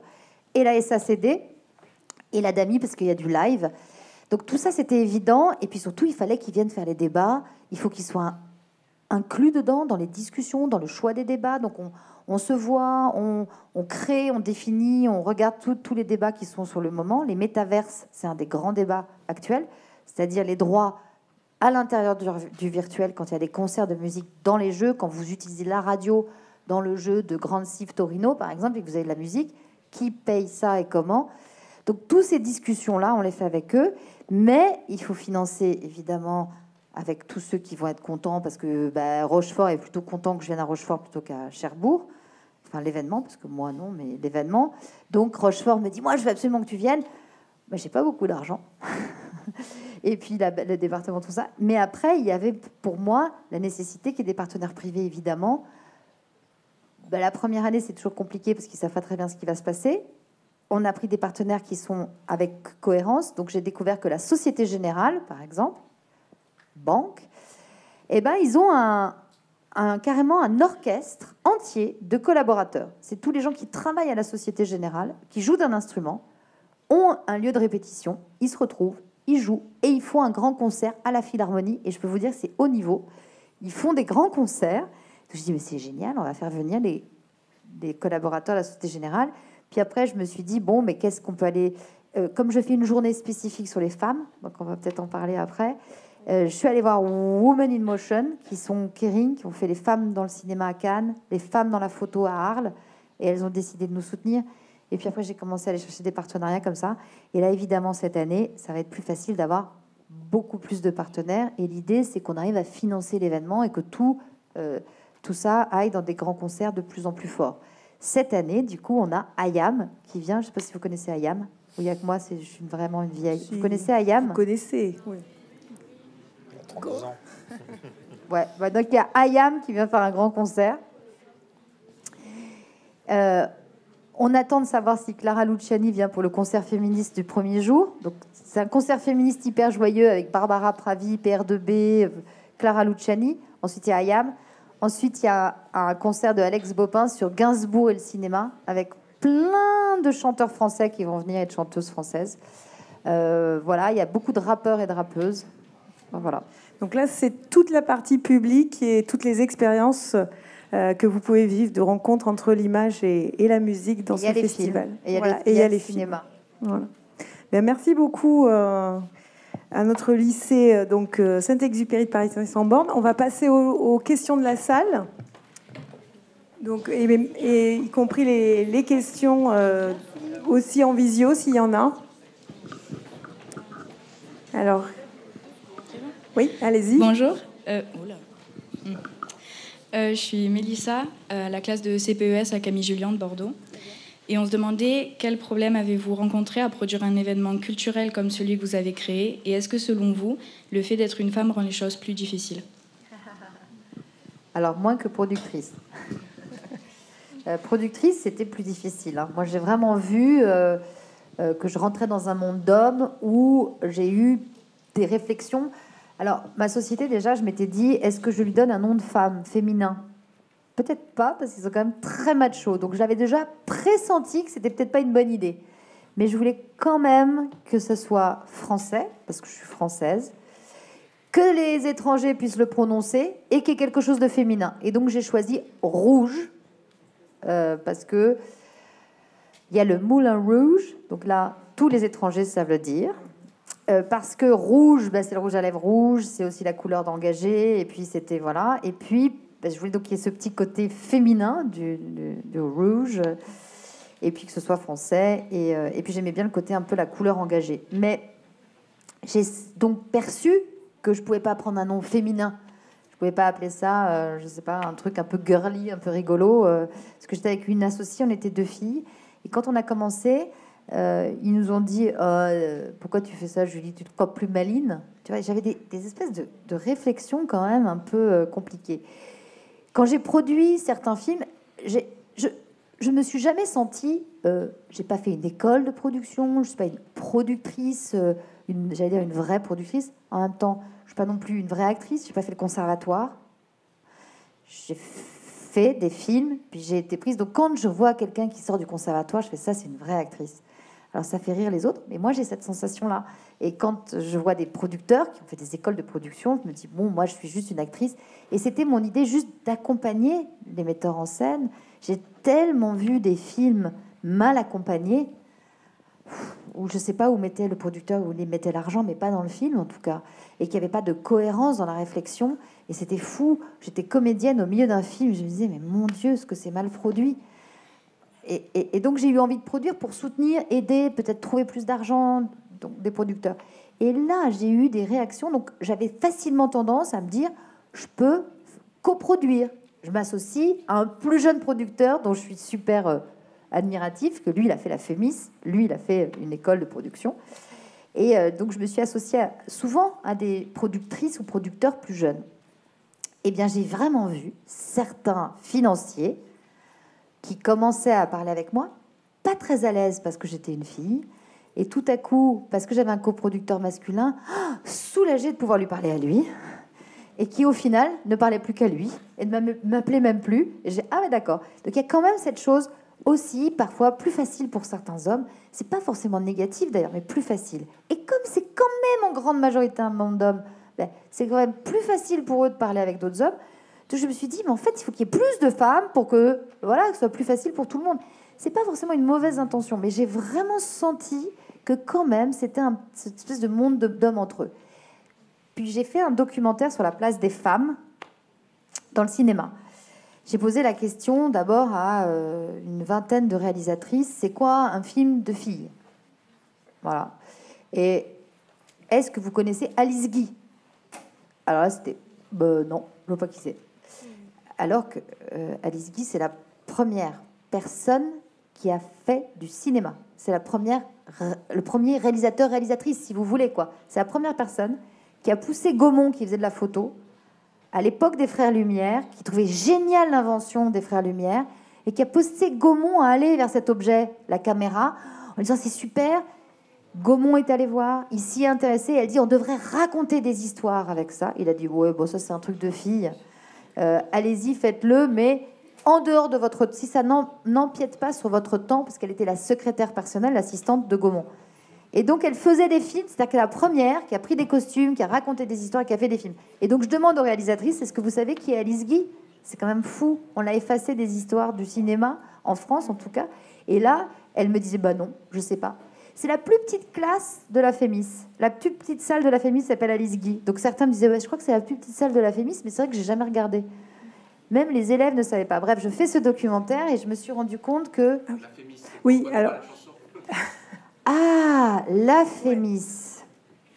La Fémis, c'était, c'était la plus grande école de cinéma. C'était la formation, euh, l'école publique. C'est public, voilà, on est pris à la FEMIS, on peut avoir une bourse accessible à tous pour devenir euh, producteur, réalisateur, scénariste. On a des formations. Et puis il y a eu l'école Louis Lumière aussi, il y a des universités, et puis il y a eu la Cinéfabrique à Lyon, qui est une super école où on peut rentrer avec des bourses, mais autrement. Puis il y a eu plein d'écoles qui sont nées. Mais la FEMIS, c'est un peu ce qu'on considère comme le top du top de la meilleure école de réalisation moi, je pense qu'il y a plein d'autres écoles maintenant aujourd'hui qui sont franchement formidables. Euh, et dans ah votre région Et dans votre région. Euh, il y a euh, le pôle Magélis, donc il y a une école d'ailleurs, l'EMCA sur l'animation. sur le cinéma, c'est. Après, alors j'ai plus les nomenclatures en tête. Peut-être que Daniel pourra m'aider. Il y a l'ENJMIN, l'école du jeu vidéo à Angoulême. Donc à Angoulême, il y a tout un pôle avec des écoles absolument formidables. De toute façon, il y a plein d'écoles aujourd'hui et euh, d'université. Mais bon, et donc je fais ce documentaire et là je me rends compte que il y a que 27% de réalisatrices. Moi, je pensais que c'était 50-50, puisque dans les écoles, c'est 50-50. Et pourquoi il n'y a pas euh, autant? Et eh ben, Dans la musique, elles sont 3% dans la, dans la composition musicale. Et donc, bref, j'ai eu envie d'aider et de faire changer ça. Bien. On va ben, enchaîner donc sur notre troisième thème. Euh, et alors, à propos d'Alice Guy, euh, je rappelle que Julie Gaillet a préfacé euh, cet ouvrage sur les 100 réalisatrices françaises. Donc, si vous voulez découvrir ces histoires incroyables de, femmes qui, ont été, qui sont absolument bien connues dans le cinéma, je vous recommande cet ouvrage. C'est Arte Édition, c'est 100 grandes réalisatrices et c'est que des films que vous pouvez voir. On a cherché des films qui étaient visibles. Et d'ailleurs, ce qui était assez un petit exemple de montrer comment c'est assez fou, euh, c'est peut-être totalement inconscient, hein, mais à la Cinémathèque française, quand on veut aller voir des films, on peut aller voir des films à la Cinémathèque française. Et eh bien, quand on tape Coppola, il y a le père, on peut aller voir des films du père, on peut voir le fils, mais il n'y a pas de film de Sofia Coppola. C'est pour vous dire à quel point, franchement, parfois on se demande dans cette histoire qui nous est racontée. Donc c'est un truc qu'il faut vraiment qu'on prenne nous en main de raconter l'histoire des femmes dans le cinéma. Mais justement, alors on, donc on dit que le refrain clé de la parité c'est 50-50, mais qu'en est-il quand à l'heure de nouvelles technologies comme le métavers? Alors c'est euh, Martin qui va commencer justement sur la question de la parité, puis c'est ensuite Mila euh, qui prendra la suite sur les technologies, et c'est le lycée Marguerite Filleul à Fumel. Euh, oui, bonjour. oui, c'est moi. Vous êtes actrice et productrice, c'est plutôt atypique, on l'a déjà dit, mais euh, vous êtes surtout engagée pour la parité entre les hommes et les femmes. Et euh, voilà. Et c'est pour vous, c'était une évidence quand vous avez commencé euh, à être actrice et productrice ou pas? Alors pas du tout. C'est une super bonne question. Et même d'ailleurs, je pense, j'ai mis dix ans à devenir productrice. Et je pense que c'est parce que je ne me l'autorisais pas. Parce que je pensais qu'il fallait avoir fait ce que je dis, une vraie école, être vraiment légitime. Moi, j'ai toujours pensé qu'il fallait bosser, bosser, bosser, bosser. espèce de sentiment comme ça, euh, de devoir travailler beaucoup, beaucoup plus. Alors que j'ai des camarades euh, qui ont moins ce sentiment-là, qui vont faire bon, allez, je deviens producteur euh, beaucoup plus facilement. Et c'est d'ailleurs un homme qui me l'a autorisé, qui m'a dit ça. Il me dit, mais en fait, tu produis déjà. Et parce que comme actrice, ce que je faisais, c'est que je faisais tout ça, mais sans avoir le titre, sans avoir la société. Mais J'allais chercher, par exemple, une salle pour un distributeur, parce que je connaissais une copine qui travaillait à Canal+, qui avait une salle de cinéma, et on cherchait un distributeur. Donc je l'appelais, est-ce que tu aurais une salle? C'est pas du tout le métier d'actrice de faire ça. Je travaillais sur le scénario. C'est pas du tout. Si, sur mon rôle, mais là c'était sur le scénario en entier. Ou alors j'avais eu un film qui allait à Cannes et euh, le film n'avait pas beaucoup d'argent. Et donc, ce que j'avais fait, c'est que j'avais acheté la couverture du film français, qui est un journal qui est distribué dans toutes les chambres à Cannes. Et donc je dis, si on paye, si on prend la couverture, tu vas être visible, le film va être visible, puisqu'on n'avait pas du tout l'argent. Il n'avait pas l'argent pour s'acheter des grandes affiches très très très chères que prennent les Américains euh, dans les rues de Cannes. Et donc j'avais payé avec mon cachet d'actrice la couverture du film français pour mettre dans les chambres à Cannes.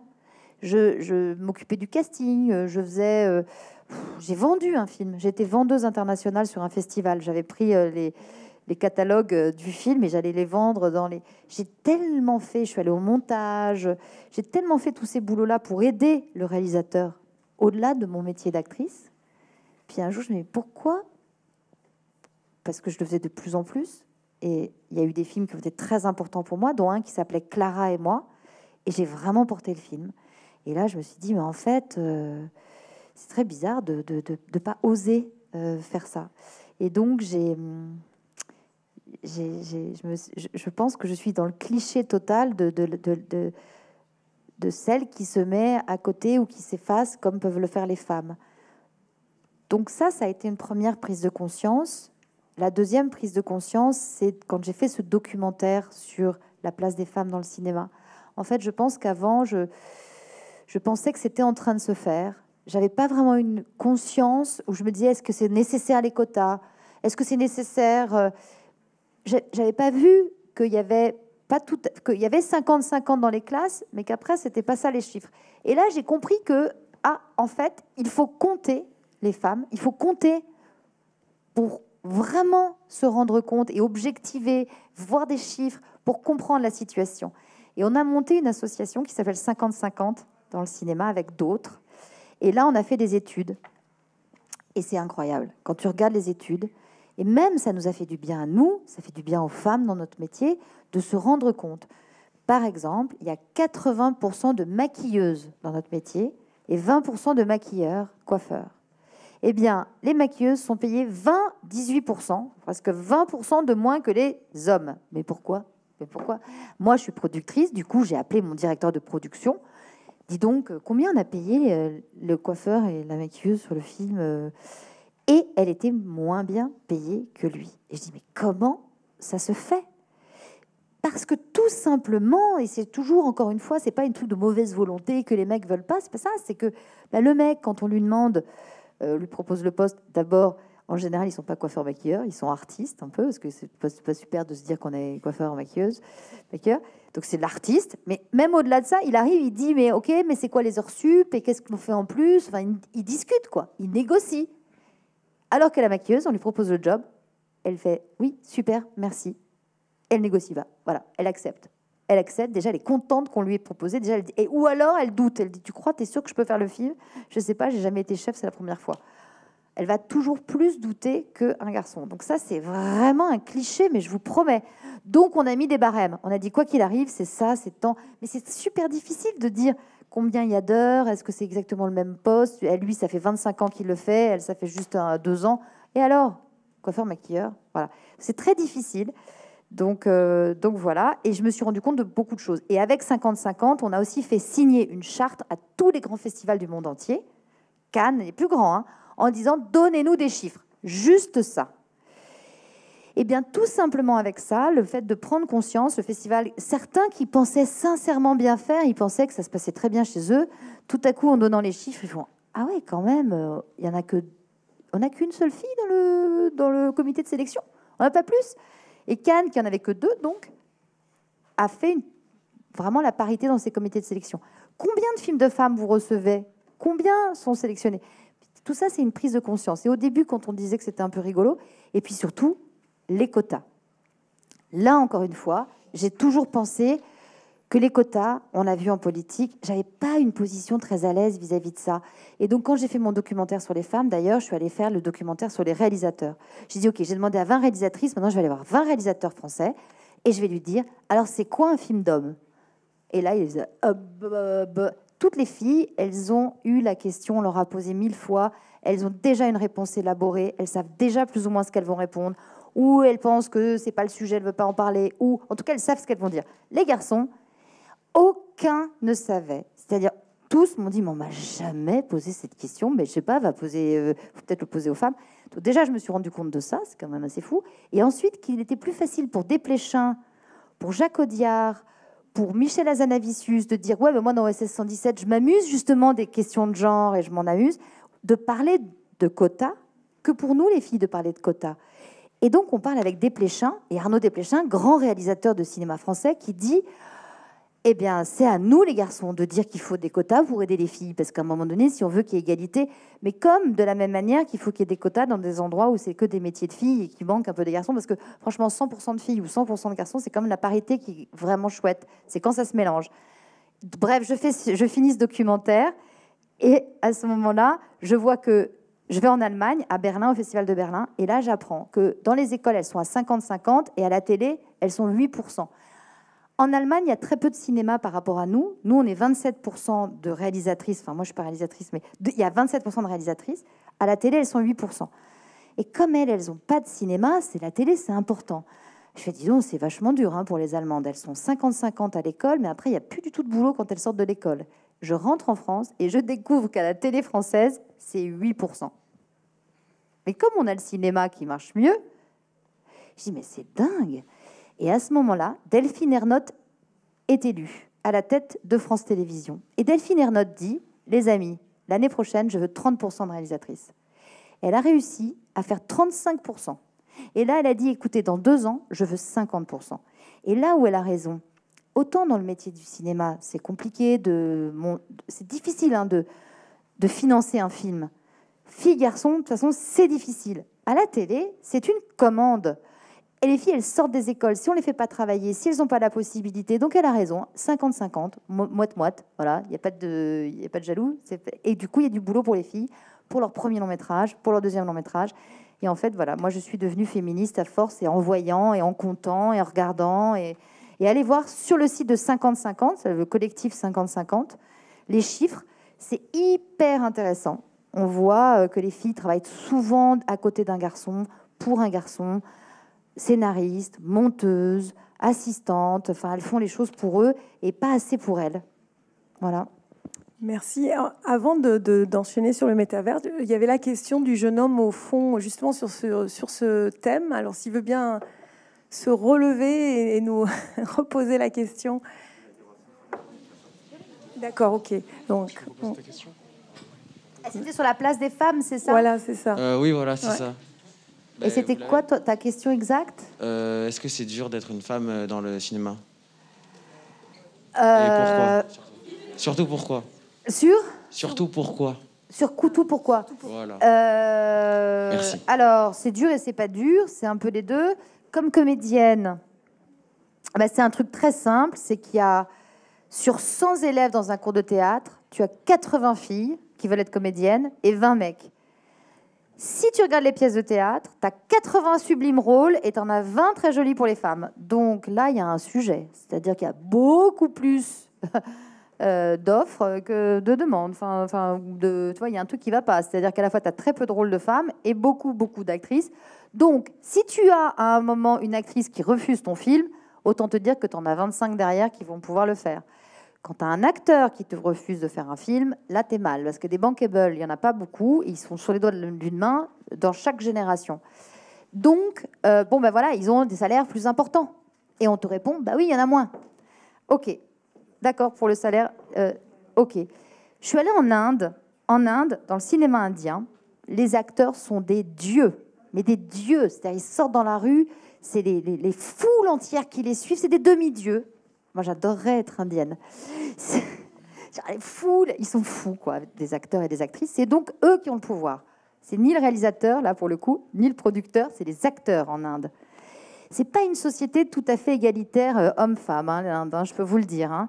Eh bien, il y a plein de réalisatrices. Pourquoi? Parce que les acteurs se sont rendus compte qu'ils étaient mieux filmés par les femmes. Donc ils se sont dit, on va prendre des réalisatrices et en plus elles sont meilleures pour les, pour les chorégraphies. Et donc c'est assez rigolo de voir à quel point, bon ben voilà, c'est des espèces de rapports de force. Donc évidemment, s'il y a plus de réalisatrices, euh, il y a plus de rôles de femmes et plus de rôles de femmes de plus de 50 ans, parce que ça aussi c'est un vrai sujet. Les hommes vieillissent, les acteurs vieillissent, ils sont de plus en plus beaux, de plus en plus mûrs, de plus en plus, je sais pas quoi. Les femmes, elles vieillissent, elles sont bon, oh, on va les faire disparaître. Il y a 27% de femmes de plus de 50 ans dans la société française. Il n'y a que 7% de femmes dans ce qu'on appelle l'audiovisuel, dans la représentation des images des femmes de plus de 50 ans. Quand vous regardez la télé, quand vous regardez la pub, quand vous regardez les films, c'est pas du tout représentatif de ce qu'est la société. Il y a plus de femmes de plus de 50 ans, comme si on voulait les cacher de, de l'image. Ça, c'est un vrai sujet. Et je pense que quand il y a des réalisatrices, elles, elles veulent filmer, elles parlent d'elles. Donc elles parlent d'elles, donc elles racontent elles, ou leur mère, ou elles écrivent des rôles plus de femmes. C'est normal que les mecs, ils écrivent plus de rôles de mecs. C'est normal. Donc il y a un truc aussi. Et après, il y a le rapport de séduction. Il y a le rapport c'est pas pareil pour une femme d'être dirigée par une femme ou par un homme. C'est pas pareil pour un homme d'être dirigé par une femme ou par un homme comme les Indiens. Ben, ben, tout ça fait que forcément il y a des rapports euh, ben, différents sur la séduction, sur le rapport de tout ça. Et après, euh, on a parlé du harcèlement. On est en train de faire changer beaucoup les choses nous dans notre métier, puisqu'on dit maintenant ça suffit, il faut que ça cesse. Mais c'est le système entier, quoi. C'est juste de dire faisons attention.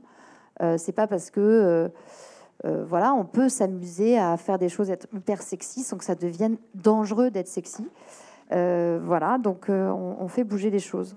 Très bien. On sait que nos amis de, donc de Sainte-Foy-la-Grande, ils doivent malheureusement nous quitter. Donc, euh, bah, bon, merci, bon retour à vous. On connaît les contraintes que vous pouvez avoir. Rentrez bien. Et regardez Sœurs Jumelles sur les réseaux. Et donc, on va ouvrir le, le dernier sous-thème donc sur euh, bah, une nouvelle technologie qui risque de bouleverser le, le monde du cinéma, à savoir le métavers, mais qui a déjà bouleversé le monde du jeu. Et c'est Mila qui va poser donc sa question. Donc euh, on observe que le monde du métavers se développe énormément en ce moment et il constitue un enjeu très important pour le cinéma. Euh, on voudrait savoir, comme le monde des technologies est très masculin, comment on peut inciter les femmes à prendre part à cette révolution du numérique et est-ce qu'il y a des choses qui sont déjà mises en place? Alors, euh, ben là, ça, ça rejoint en plus beaucoup la musique. Parce qu'en réalité, s'il y a si peu de femmes dans la musique, c'est parce qu'il y a quand même quelque chose de lié.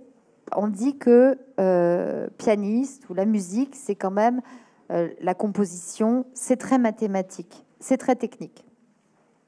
Je ne sais pas si vous connaissez, euh, c'est un test, enfin c'est un, oui c'est un test, c'est une étude qui a été faite. On prend deux classes de lycée paritaires, il y a autant de filles et de garçons dans les deux classes. On pose le même problème, qui est vraiment un problème de CM2, hein. enfin je rigole, mais vraiment un problème simple, mais enfin un problème le même problème, sauf que dans une des classes du lycée, on dit que c'est un problème plutôt scientifique, d'ordre scientifique, et dans l'autre, on dit que c'est un problème plutôt d'ordre euh, de, des études euh, oui, littéraires, enfin euh, humaines, sciences humaines, voilà. Sciences humaines, scientifiques. Eh bien, dans le, le même problème, dans la classe où on a dit que c'était scientifique, les garçons en majorité répondent et dans la classe où on a dit que c'était des sciences humaines, c'est les filles. Comme si tout de suite les filles ne s'autorisent pas. Et donc c'est ça le problème, la problématique de faire changer notre société fondamentalement. Et c'est là où c'est très compliqué. C'est-à-dire qu'on est tous, enfin moi été imprégnée par cette société aussi. Donc même combat. J'adorais les mathématiques, mais finalement, je suis allée faire des lettres, alors que j'aurais pu et j'aurais dû euh, peut-être faire des mathématiques. Donc on, on va, et aussi pour des intérêts. Euh, euh, j'ai fait beaucoup dans les lycées de prise de parole à une époque où je faisais ce documentaire sur la place des femmes, euh, où j'ai fait ces deux films. Et je demandais qu'est-ce que vous voulez faire? D'ailleurs, je devrais vous le demander avant de parler. Mais vraiment, je demandais, et je me souviens d'être à Sarlat, dans, un lycée technique, et où les filles disaient ben, Je voudrais être expert comptable, je voudrais être infirmière, euh, euh, je ne sais plus, c'était très très sérieux, très très clair, des postes très très définis qui existent. Et puis, je demande au garçon, et toi, tu veux faire quoi? Il y en a un qui me répond, mais vraiment, c'était PDG, directeur général d'une grande entreprise de luxe. Ok. Et toi? Oh, Un métier qui n'existe pas encore, un truc dans le numérique. Et il y avait quelque chose de plus ouvert, de moins défini, avec un pôle très défini. Enfin, c'était assez incroyable. Donc, je me suis dit, c'est fou. Euh, de comment le poids de la société nous définit, nous empêche. Donc ça, déjà, il va falloir qu'on bosse. Donc là, moi, je suis très engagée à la Fondation des femmes et je fais énormément de choses sur ces sujets-là. Je promeux et je, fais des, je produis des documentaires sur le football féminin pour qu'on arrête de dire à l'école que les footballeurs sont super bien payés, pas les footballeuses, qu'on arrête de dire que c'est pas euh, pour les femmes. Je suis désolée, allez regarder les Américaines, elles jouent extrêmement bien et vous l'avez vu à la Coupe du Monde. Donc c'est aussi ce truc du poids de la société. Et donc, je me dis, il faut faire la même chose sur, les sciences. Et là, quand on regarde, euh, je rencontre, donc je fais cette journée sur les femmes avec toutes les associations de femmes. Et là, elles y sont toutes. Donc, cette fameuse association qui s'appelle Women in Games, qui ont été créées il y a deux ans, mais il y a aussi les femmes s'animent, Women in Animation. Elles te disent, et c'est vrai, quand tu regardes dans le documentaire, c'est donc plus précaire, petit budget, une majorité de femmes font du documentaire. On arrive à la fiction, 27%. On arrive à l'animation, gros budget le cinéma d'animation. C'est 20 euh, millions, 12 millions. Il n'y a plus que 10% de femmes. C'est comme si petit budget, c'est pour les femmes, grand budget, euh, grand budget c'est plus pour nous. Et donc, euh, sur, les sciences, les filles dans l'animation, elles ont décidé de faire bouger les choses, de dire, bah non, dans le cinéma d'animation, on va arriver à faire 50-50. Donc, il y a Women in Animation, ça fait 27 ans qu'elles existent aux États-Unis, ça fait 8 ans qu'elles existent en France. Elles ont fait énormément bouger l'animation aux États-Unis, énormément bouger le, cinéma d'animation pour qu'il y ait des personnages féminins hyper forts. Et ben, on a la même chose dans le jeu. Women in Games, elles ont dit bah, nous, on veut qu'il y ait des personnages féminins, des héroïnes hyper forts, qu'on fasse changer ce regard-là, et aussi qu'on ait des personnes qui prennent la parole, qui viennent parler. On arrête de dire le jeu vidéo, c'est que des, que des mecs. Et donc, elles viennent faire des conférences, elles proposent de faire des interventions. Donc, si vous avez envie qu'une fille du Women in Games vienne l'année prochaine dans votre école, demandez-le à votre prof. Et on vous fera, elles veulent faire ces interventions-là, elles veulent intervenir aujourd'hui. Elles disent que c'est en étant présentes et en montrant que oui, le jeu vidéo, c'est aussi pour les filles. Mais ça ne suffit pas et c'est très difficile parce que, par exemple, l'école 42 de Xavier Niel, qui est une école géniale, a ouvert son quota aux filles. Ils ont dit on laisse 25% de place ou 20% pour les filles. Donc il y a une piscine pour rentrer à l'école 42. Ils n'ont pas pris de mecs pour laisser la place aux filles et elles sont pas venues. Ils ont eu que 5% de candidates. Donc là, ils se sont dit on a un problème. Il faut qu'on en parle, il faut qu'on le fasse savoir. Mais pourquoi elles viennent pas? Pourquoi elles ne font pas ces études-là? Et donc, c'est comme les chercheuses, c'est comme pour tout ça. Et la musique, c'est exactement le même problème. Donc, dans la musique, on fait ces rencontres le 22 juin et venez les écouter. Il va y avoir des, des femmes brillantissimes. Elles racontent que chef d'orchestre, pour la première année cette année, ils ont décidé de mettre le jury pour les jeunes chefs d'orchestre de dos, de dos, tourné. Ils n'ont pas le droit de regarder les chefs d'orchestre jouer. Chaque année, il n'y a aucune femme chef d'orchestre. Il doit y avoir trois chefs d'orchestre euh, en France, c'est très peu. Eh bien, cette année-là, je vous promets que c'est vrai, il y a eu une majorité de femmes qui ont été choisies chefs d'orchestre. C'est parce qu'aussi c'est difficile parfois pour le jury, parce qu'eux aussi sont imprégnés par la société, de voir une femme diriger. Ils trouvent que c'est pas tout à fait comme tradition, la tradition et comme ça se fait. Et c'est difficile de faire changer les choses.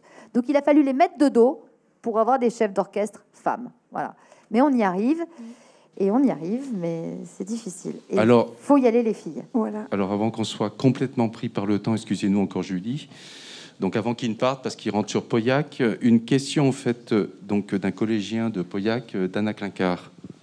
Sur le métavers. Oui, s'il te plaît. Euh, bonjour, je m'appelle euh, Anir, je suis du collège Pierre de Belém et j'ai une question. Euh, selon vous, pourrait-on créer un festival dans le métaverse? Alors, je pense qu'il existe des, des- déjà pas mal de, de- de festivals super technologiques. Je, je suis sûre que ça va exister. hein. Euh, quand on voit Twitch, quand on voit tout ce qui se fait. Nous, on a fait venir chez nous donc tous les laboratoires d'intelligence artificielle qui viennent vous raconter tous les nouveaux outils. Ça, c'est assez génial. Ils font des présentations euh, de l'intelligence artificielle, de la réalité virtuelle. et sur euh, le métaverse, je pense qu'on sera capable effectivement de se retrouver dans le métaverse, de faire des choses dans le métaverse, de se parler et de donc effectivement de faire un festival à l'intérieur du métaverse. Il n'y a pas de raison qu'on puisse pas le faire. Alors là, franchement, euh, là, il y a aussi une conférence sur la, blockchain et c'est donc l'idée de payer avec des bitcoins et de produire des films en bitcoin.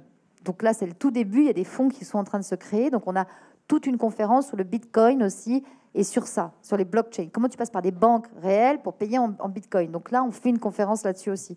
En tout cas, toutes ces thématiques qui font que euh, là, euh, bon, évidemment, vous imaginez bien que le cinéma, quand tu leur parles de bitcoin, au début, ils étaient un peu, euh, voilà, mais ça arrive. Ça va bouger. Moi, je suis sûre que de- je suis sûre de ça. On fera même un festival avec des prix euh, dans le métaverse. Je, je pense. Un, un petit peu à l'image de, voilà, si vous avez vu le film Ready Player One, ça vous donne une, belle, une bonne idée de ce que ça, ça peut donner. Voilà. Une dernière question, Mila? Alors, euh, dans une Dernière question, enfin tous les deux. Dans une interview que vous avez donnée l'an dernier à France Culture, vous citiez les chiffres concernant l'équité des salaires et vous disiez que les femmes réalisatrices sont payées 45% de moins que les hommes. Est-ce que vous pensez que avec le métaverse, on pourrait changer les choses et comment on fait pour modifier ça dans le futur? Alors, je ne sais pas si c'est le métaverse ou les bitcoins ou autre chose, mais euh, euh, le fait d'en avoir pris conscience, c'est encore pareil, hein, c'est toujours pareil. Je pense que les réalisatrices aussi sont en train de bouger. Moi, ce qui me préoccupait plus, c'est que les femmes font la moitié moins de films dans leur carrière. C'est qu'elles font que 6 ou 7 films ou 8 films dans leur carrière. Les hommes qui ont des belles carrières font plus de films euh, en moyenne. Donc ça, c'est un vrai sujet. D'où le quota sur France Télévisions aussi, euh, parce qu'on n'a pas toujours euh, voilà la carrière. J'ai eu cette chance de rencontrer Agnès Varda. Et Agnès Varda, elle ne trouvait pas d'argent pour ses films. On lui donnait plein de prix, elle était formidable, mais elle ne trouvait pas d'argent. J'ai dû coproduire son dernier film avec JR, qui est Visage Village, que je vous conseille. Mais c'était incroyable, elle ne trouvait pas, elle n'arrivait pas à financer son film. Donc c'est plus ce, sujet, euh, euh, voilà, moi qui me- me- me- m'ennuie. Mais après, sur l'égalité salariale, euh, j'ai tellement été heureuse quand il y a eu la Coupe du Monde de foot. Je vais vous reparler de ça, j'adore ça, le foot. Mais quand les Américaines ont gagné, il y avait un stade entier. C'était à Lyon. Le stade était rempli d'Américains, mais de Français. Les Américaines ont gagné. Eh bien, dans le stade entier a dit equal pay, equal pay, equal pay. C'est-à-dire que si les gens demandent à ce qu'elles soient payées la même chose que les footballeurs américains, les soccer américains, enfin le foot, c'est quand même incroyable. C'est-à-dire que la société est prête et ne comprend plus. Je pense que votre génération, ils ne comprennent pas pourquoi il n'y a pas égalité salariale. Et ça, on est en train d'y arriver. Donc moi, je suis assez positive parce qu'elles viennent de gagner, les Américaines. Ça y est. Qu'est-ce qui se passe? C'est une égalité salariale réelle. hein. Ça commence et ça démarre. C'est-à-dire qu'avant, pour vous expliquer, ce- c'est vraiment pour vous expliquer comment ça marche, c'est ce qui était fou, c'est que l'équipe de foot américaine pour la Coupe du Monde avait 67 millions de bonus, ils étaient payés ça. Les filles, elles avaient 22, d'accord? Et même si elles ont gagné, elles, à la Coupe du Monde à la fin, que eux, ils ont été virés, ils n'ont même pas gagné les- les tests, ils n'ont même pas été qualifiés, ils ont touché 60 millions, elles ont touché 22 millions. Leur équivalent de la FFF, là, chez eux, ont fait ça. Elles ont dit, mais vous êtes dingue. Donc là, maintenant, la Coupe du Monde commence, les deux équipes de, des États-Unis vont démarrer avec le même montant. Et en fonction de s'ils sont qualifiés, dans l'un ou dans l'autre, ils ont des bonus et ça grossit. Donc là, c'est peut-être au final les, les femmes qui vont avoir les 67 millions et, euh, et les garçons les autres. Eh bien, c'est en France, c'est pareil. hein. En France, le foot féminin, c'est pareil. Le droit des, des chaînes télé, ils vont euh, dans les clubs masculins, pas dans les clubs féminins. Donc tout ça, c'est des règles. Donc moi, je crois à la loi et je crois qu'il faut faire changer avec la loi. Et c'est pour ça qu'on a monté 50-50. C'est que je pense qu'il faut faire bouger les choses. Et nous, dans le cinéma, on a fait un truc incitatif pour l'instant. Quand tu as cinq chefs de poste dans un film, tu as le droit à 15% de plus de crédit d'impôt du CNC. C'est-à-dire que tu touches un petit bonus. Donc quand tu es producteur et que tu as une réalisatrice et tu as trois techniciennes, tu dis, ah bah, si je prends en plus euh, deux autres, ah quand même, je gagne 15%, c'est pas mal. Donc on essaie de faire des choses qui donnent envie de vendre plus de femmes. Et pareil, on essaie de mettre des, des règles sur les directeurs de production pour que les femmes et les hommes soient payés la même chose. Mais c'est très difficile, parce qu'on va te répondre, oui, mais Jacques Audiard fait plus d'entrées que euh, Marion Vernou. Voilà, ce qui est faux. Enfin, je dis ça parce que Jacques Audiard et Marion Vernou étaient un couple. c'est ça. Mais ce sera notre mot de la fin. Merci beaucoup, Julie Gaillet, de- de- merci. d'avoir consacré euh, ce temps à ces questions. Ah non, mais c'est pas gentil parce Ouais, que on n'a plus le temps, malheureusement. Ouais. Ah, voilà. Mais euh, alors, juste avant que vous vous leviez et que vous repartiez euh, aussi vite que vous êtes arrivé, mais merci d'abord de vos questions. Merci euh, voilà, de, de l'intérêt que vous avez porté. Je rappelle qu'on se retrouve le 19 mai pour publier le palmarès de l'accordé avec les sup Mola. Avec dans le jury, ben, d'ores et déjà, Julie Gaillet, Saskia de Rothschild, Mazarine Pinjot, Mathilde Mola et Francis Cabrel. Donc, euh, au 19 mai. Et que les meilleurs gagnent.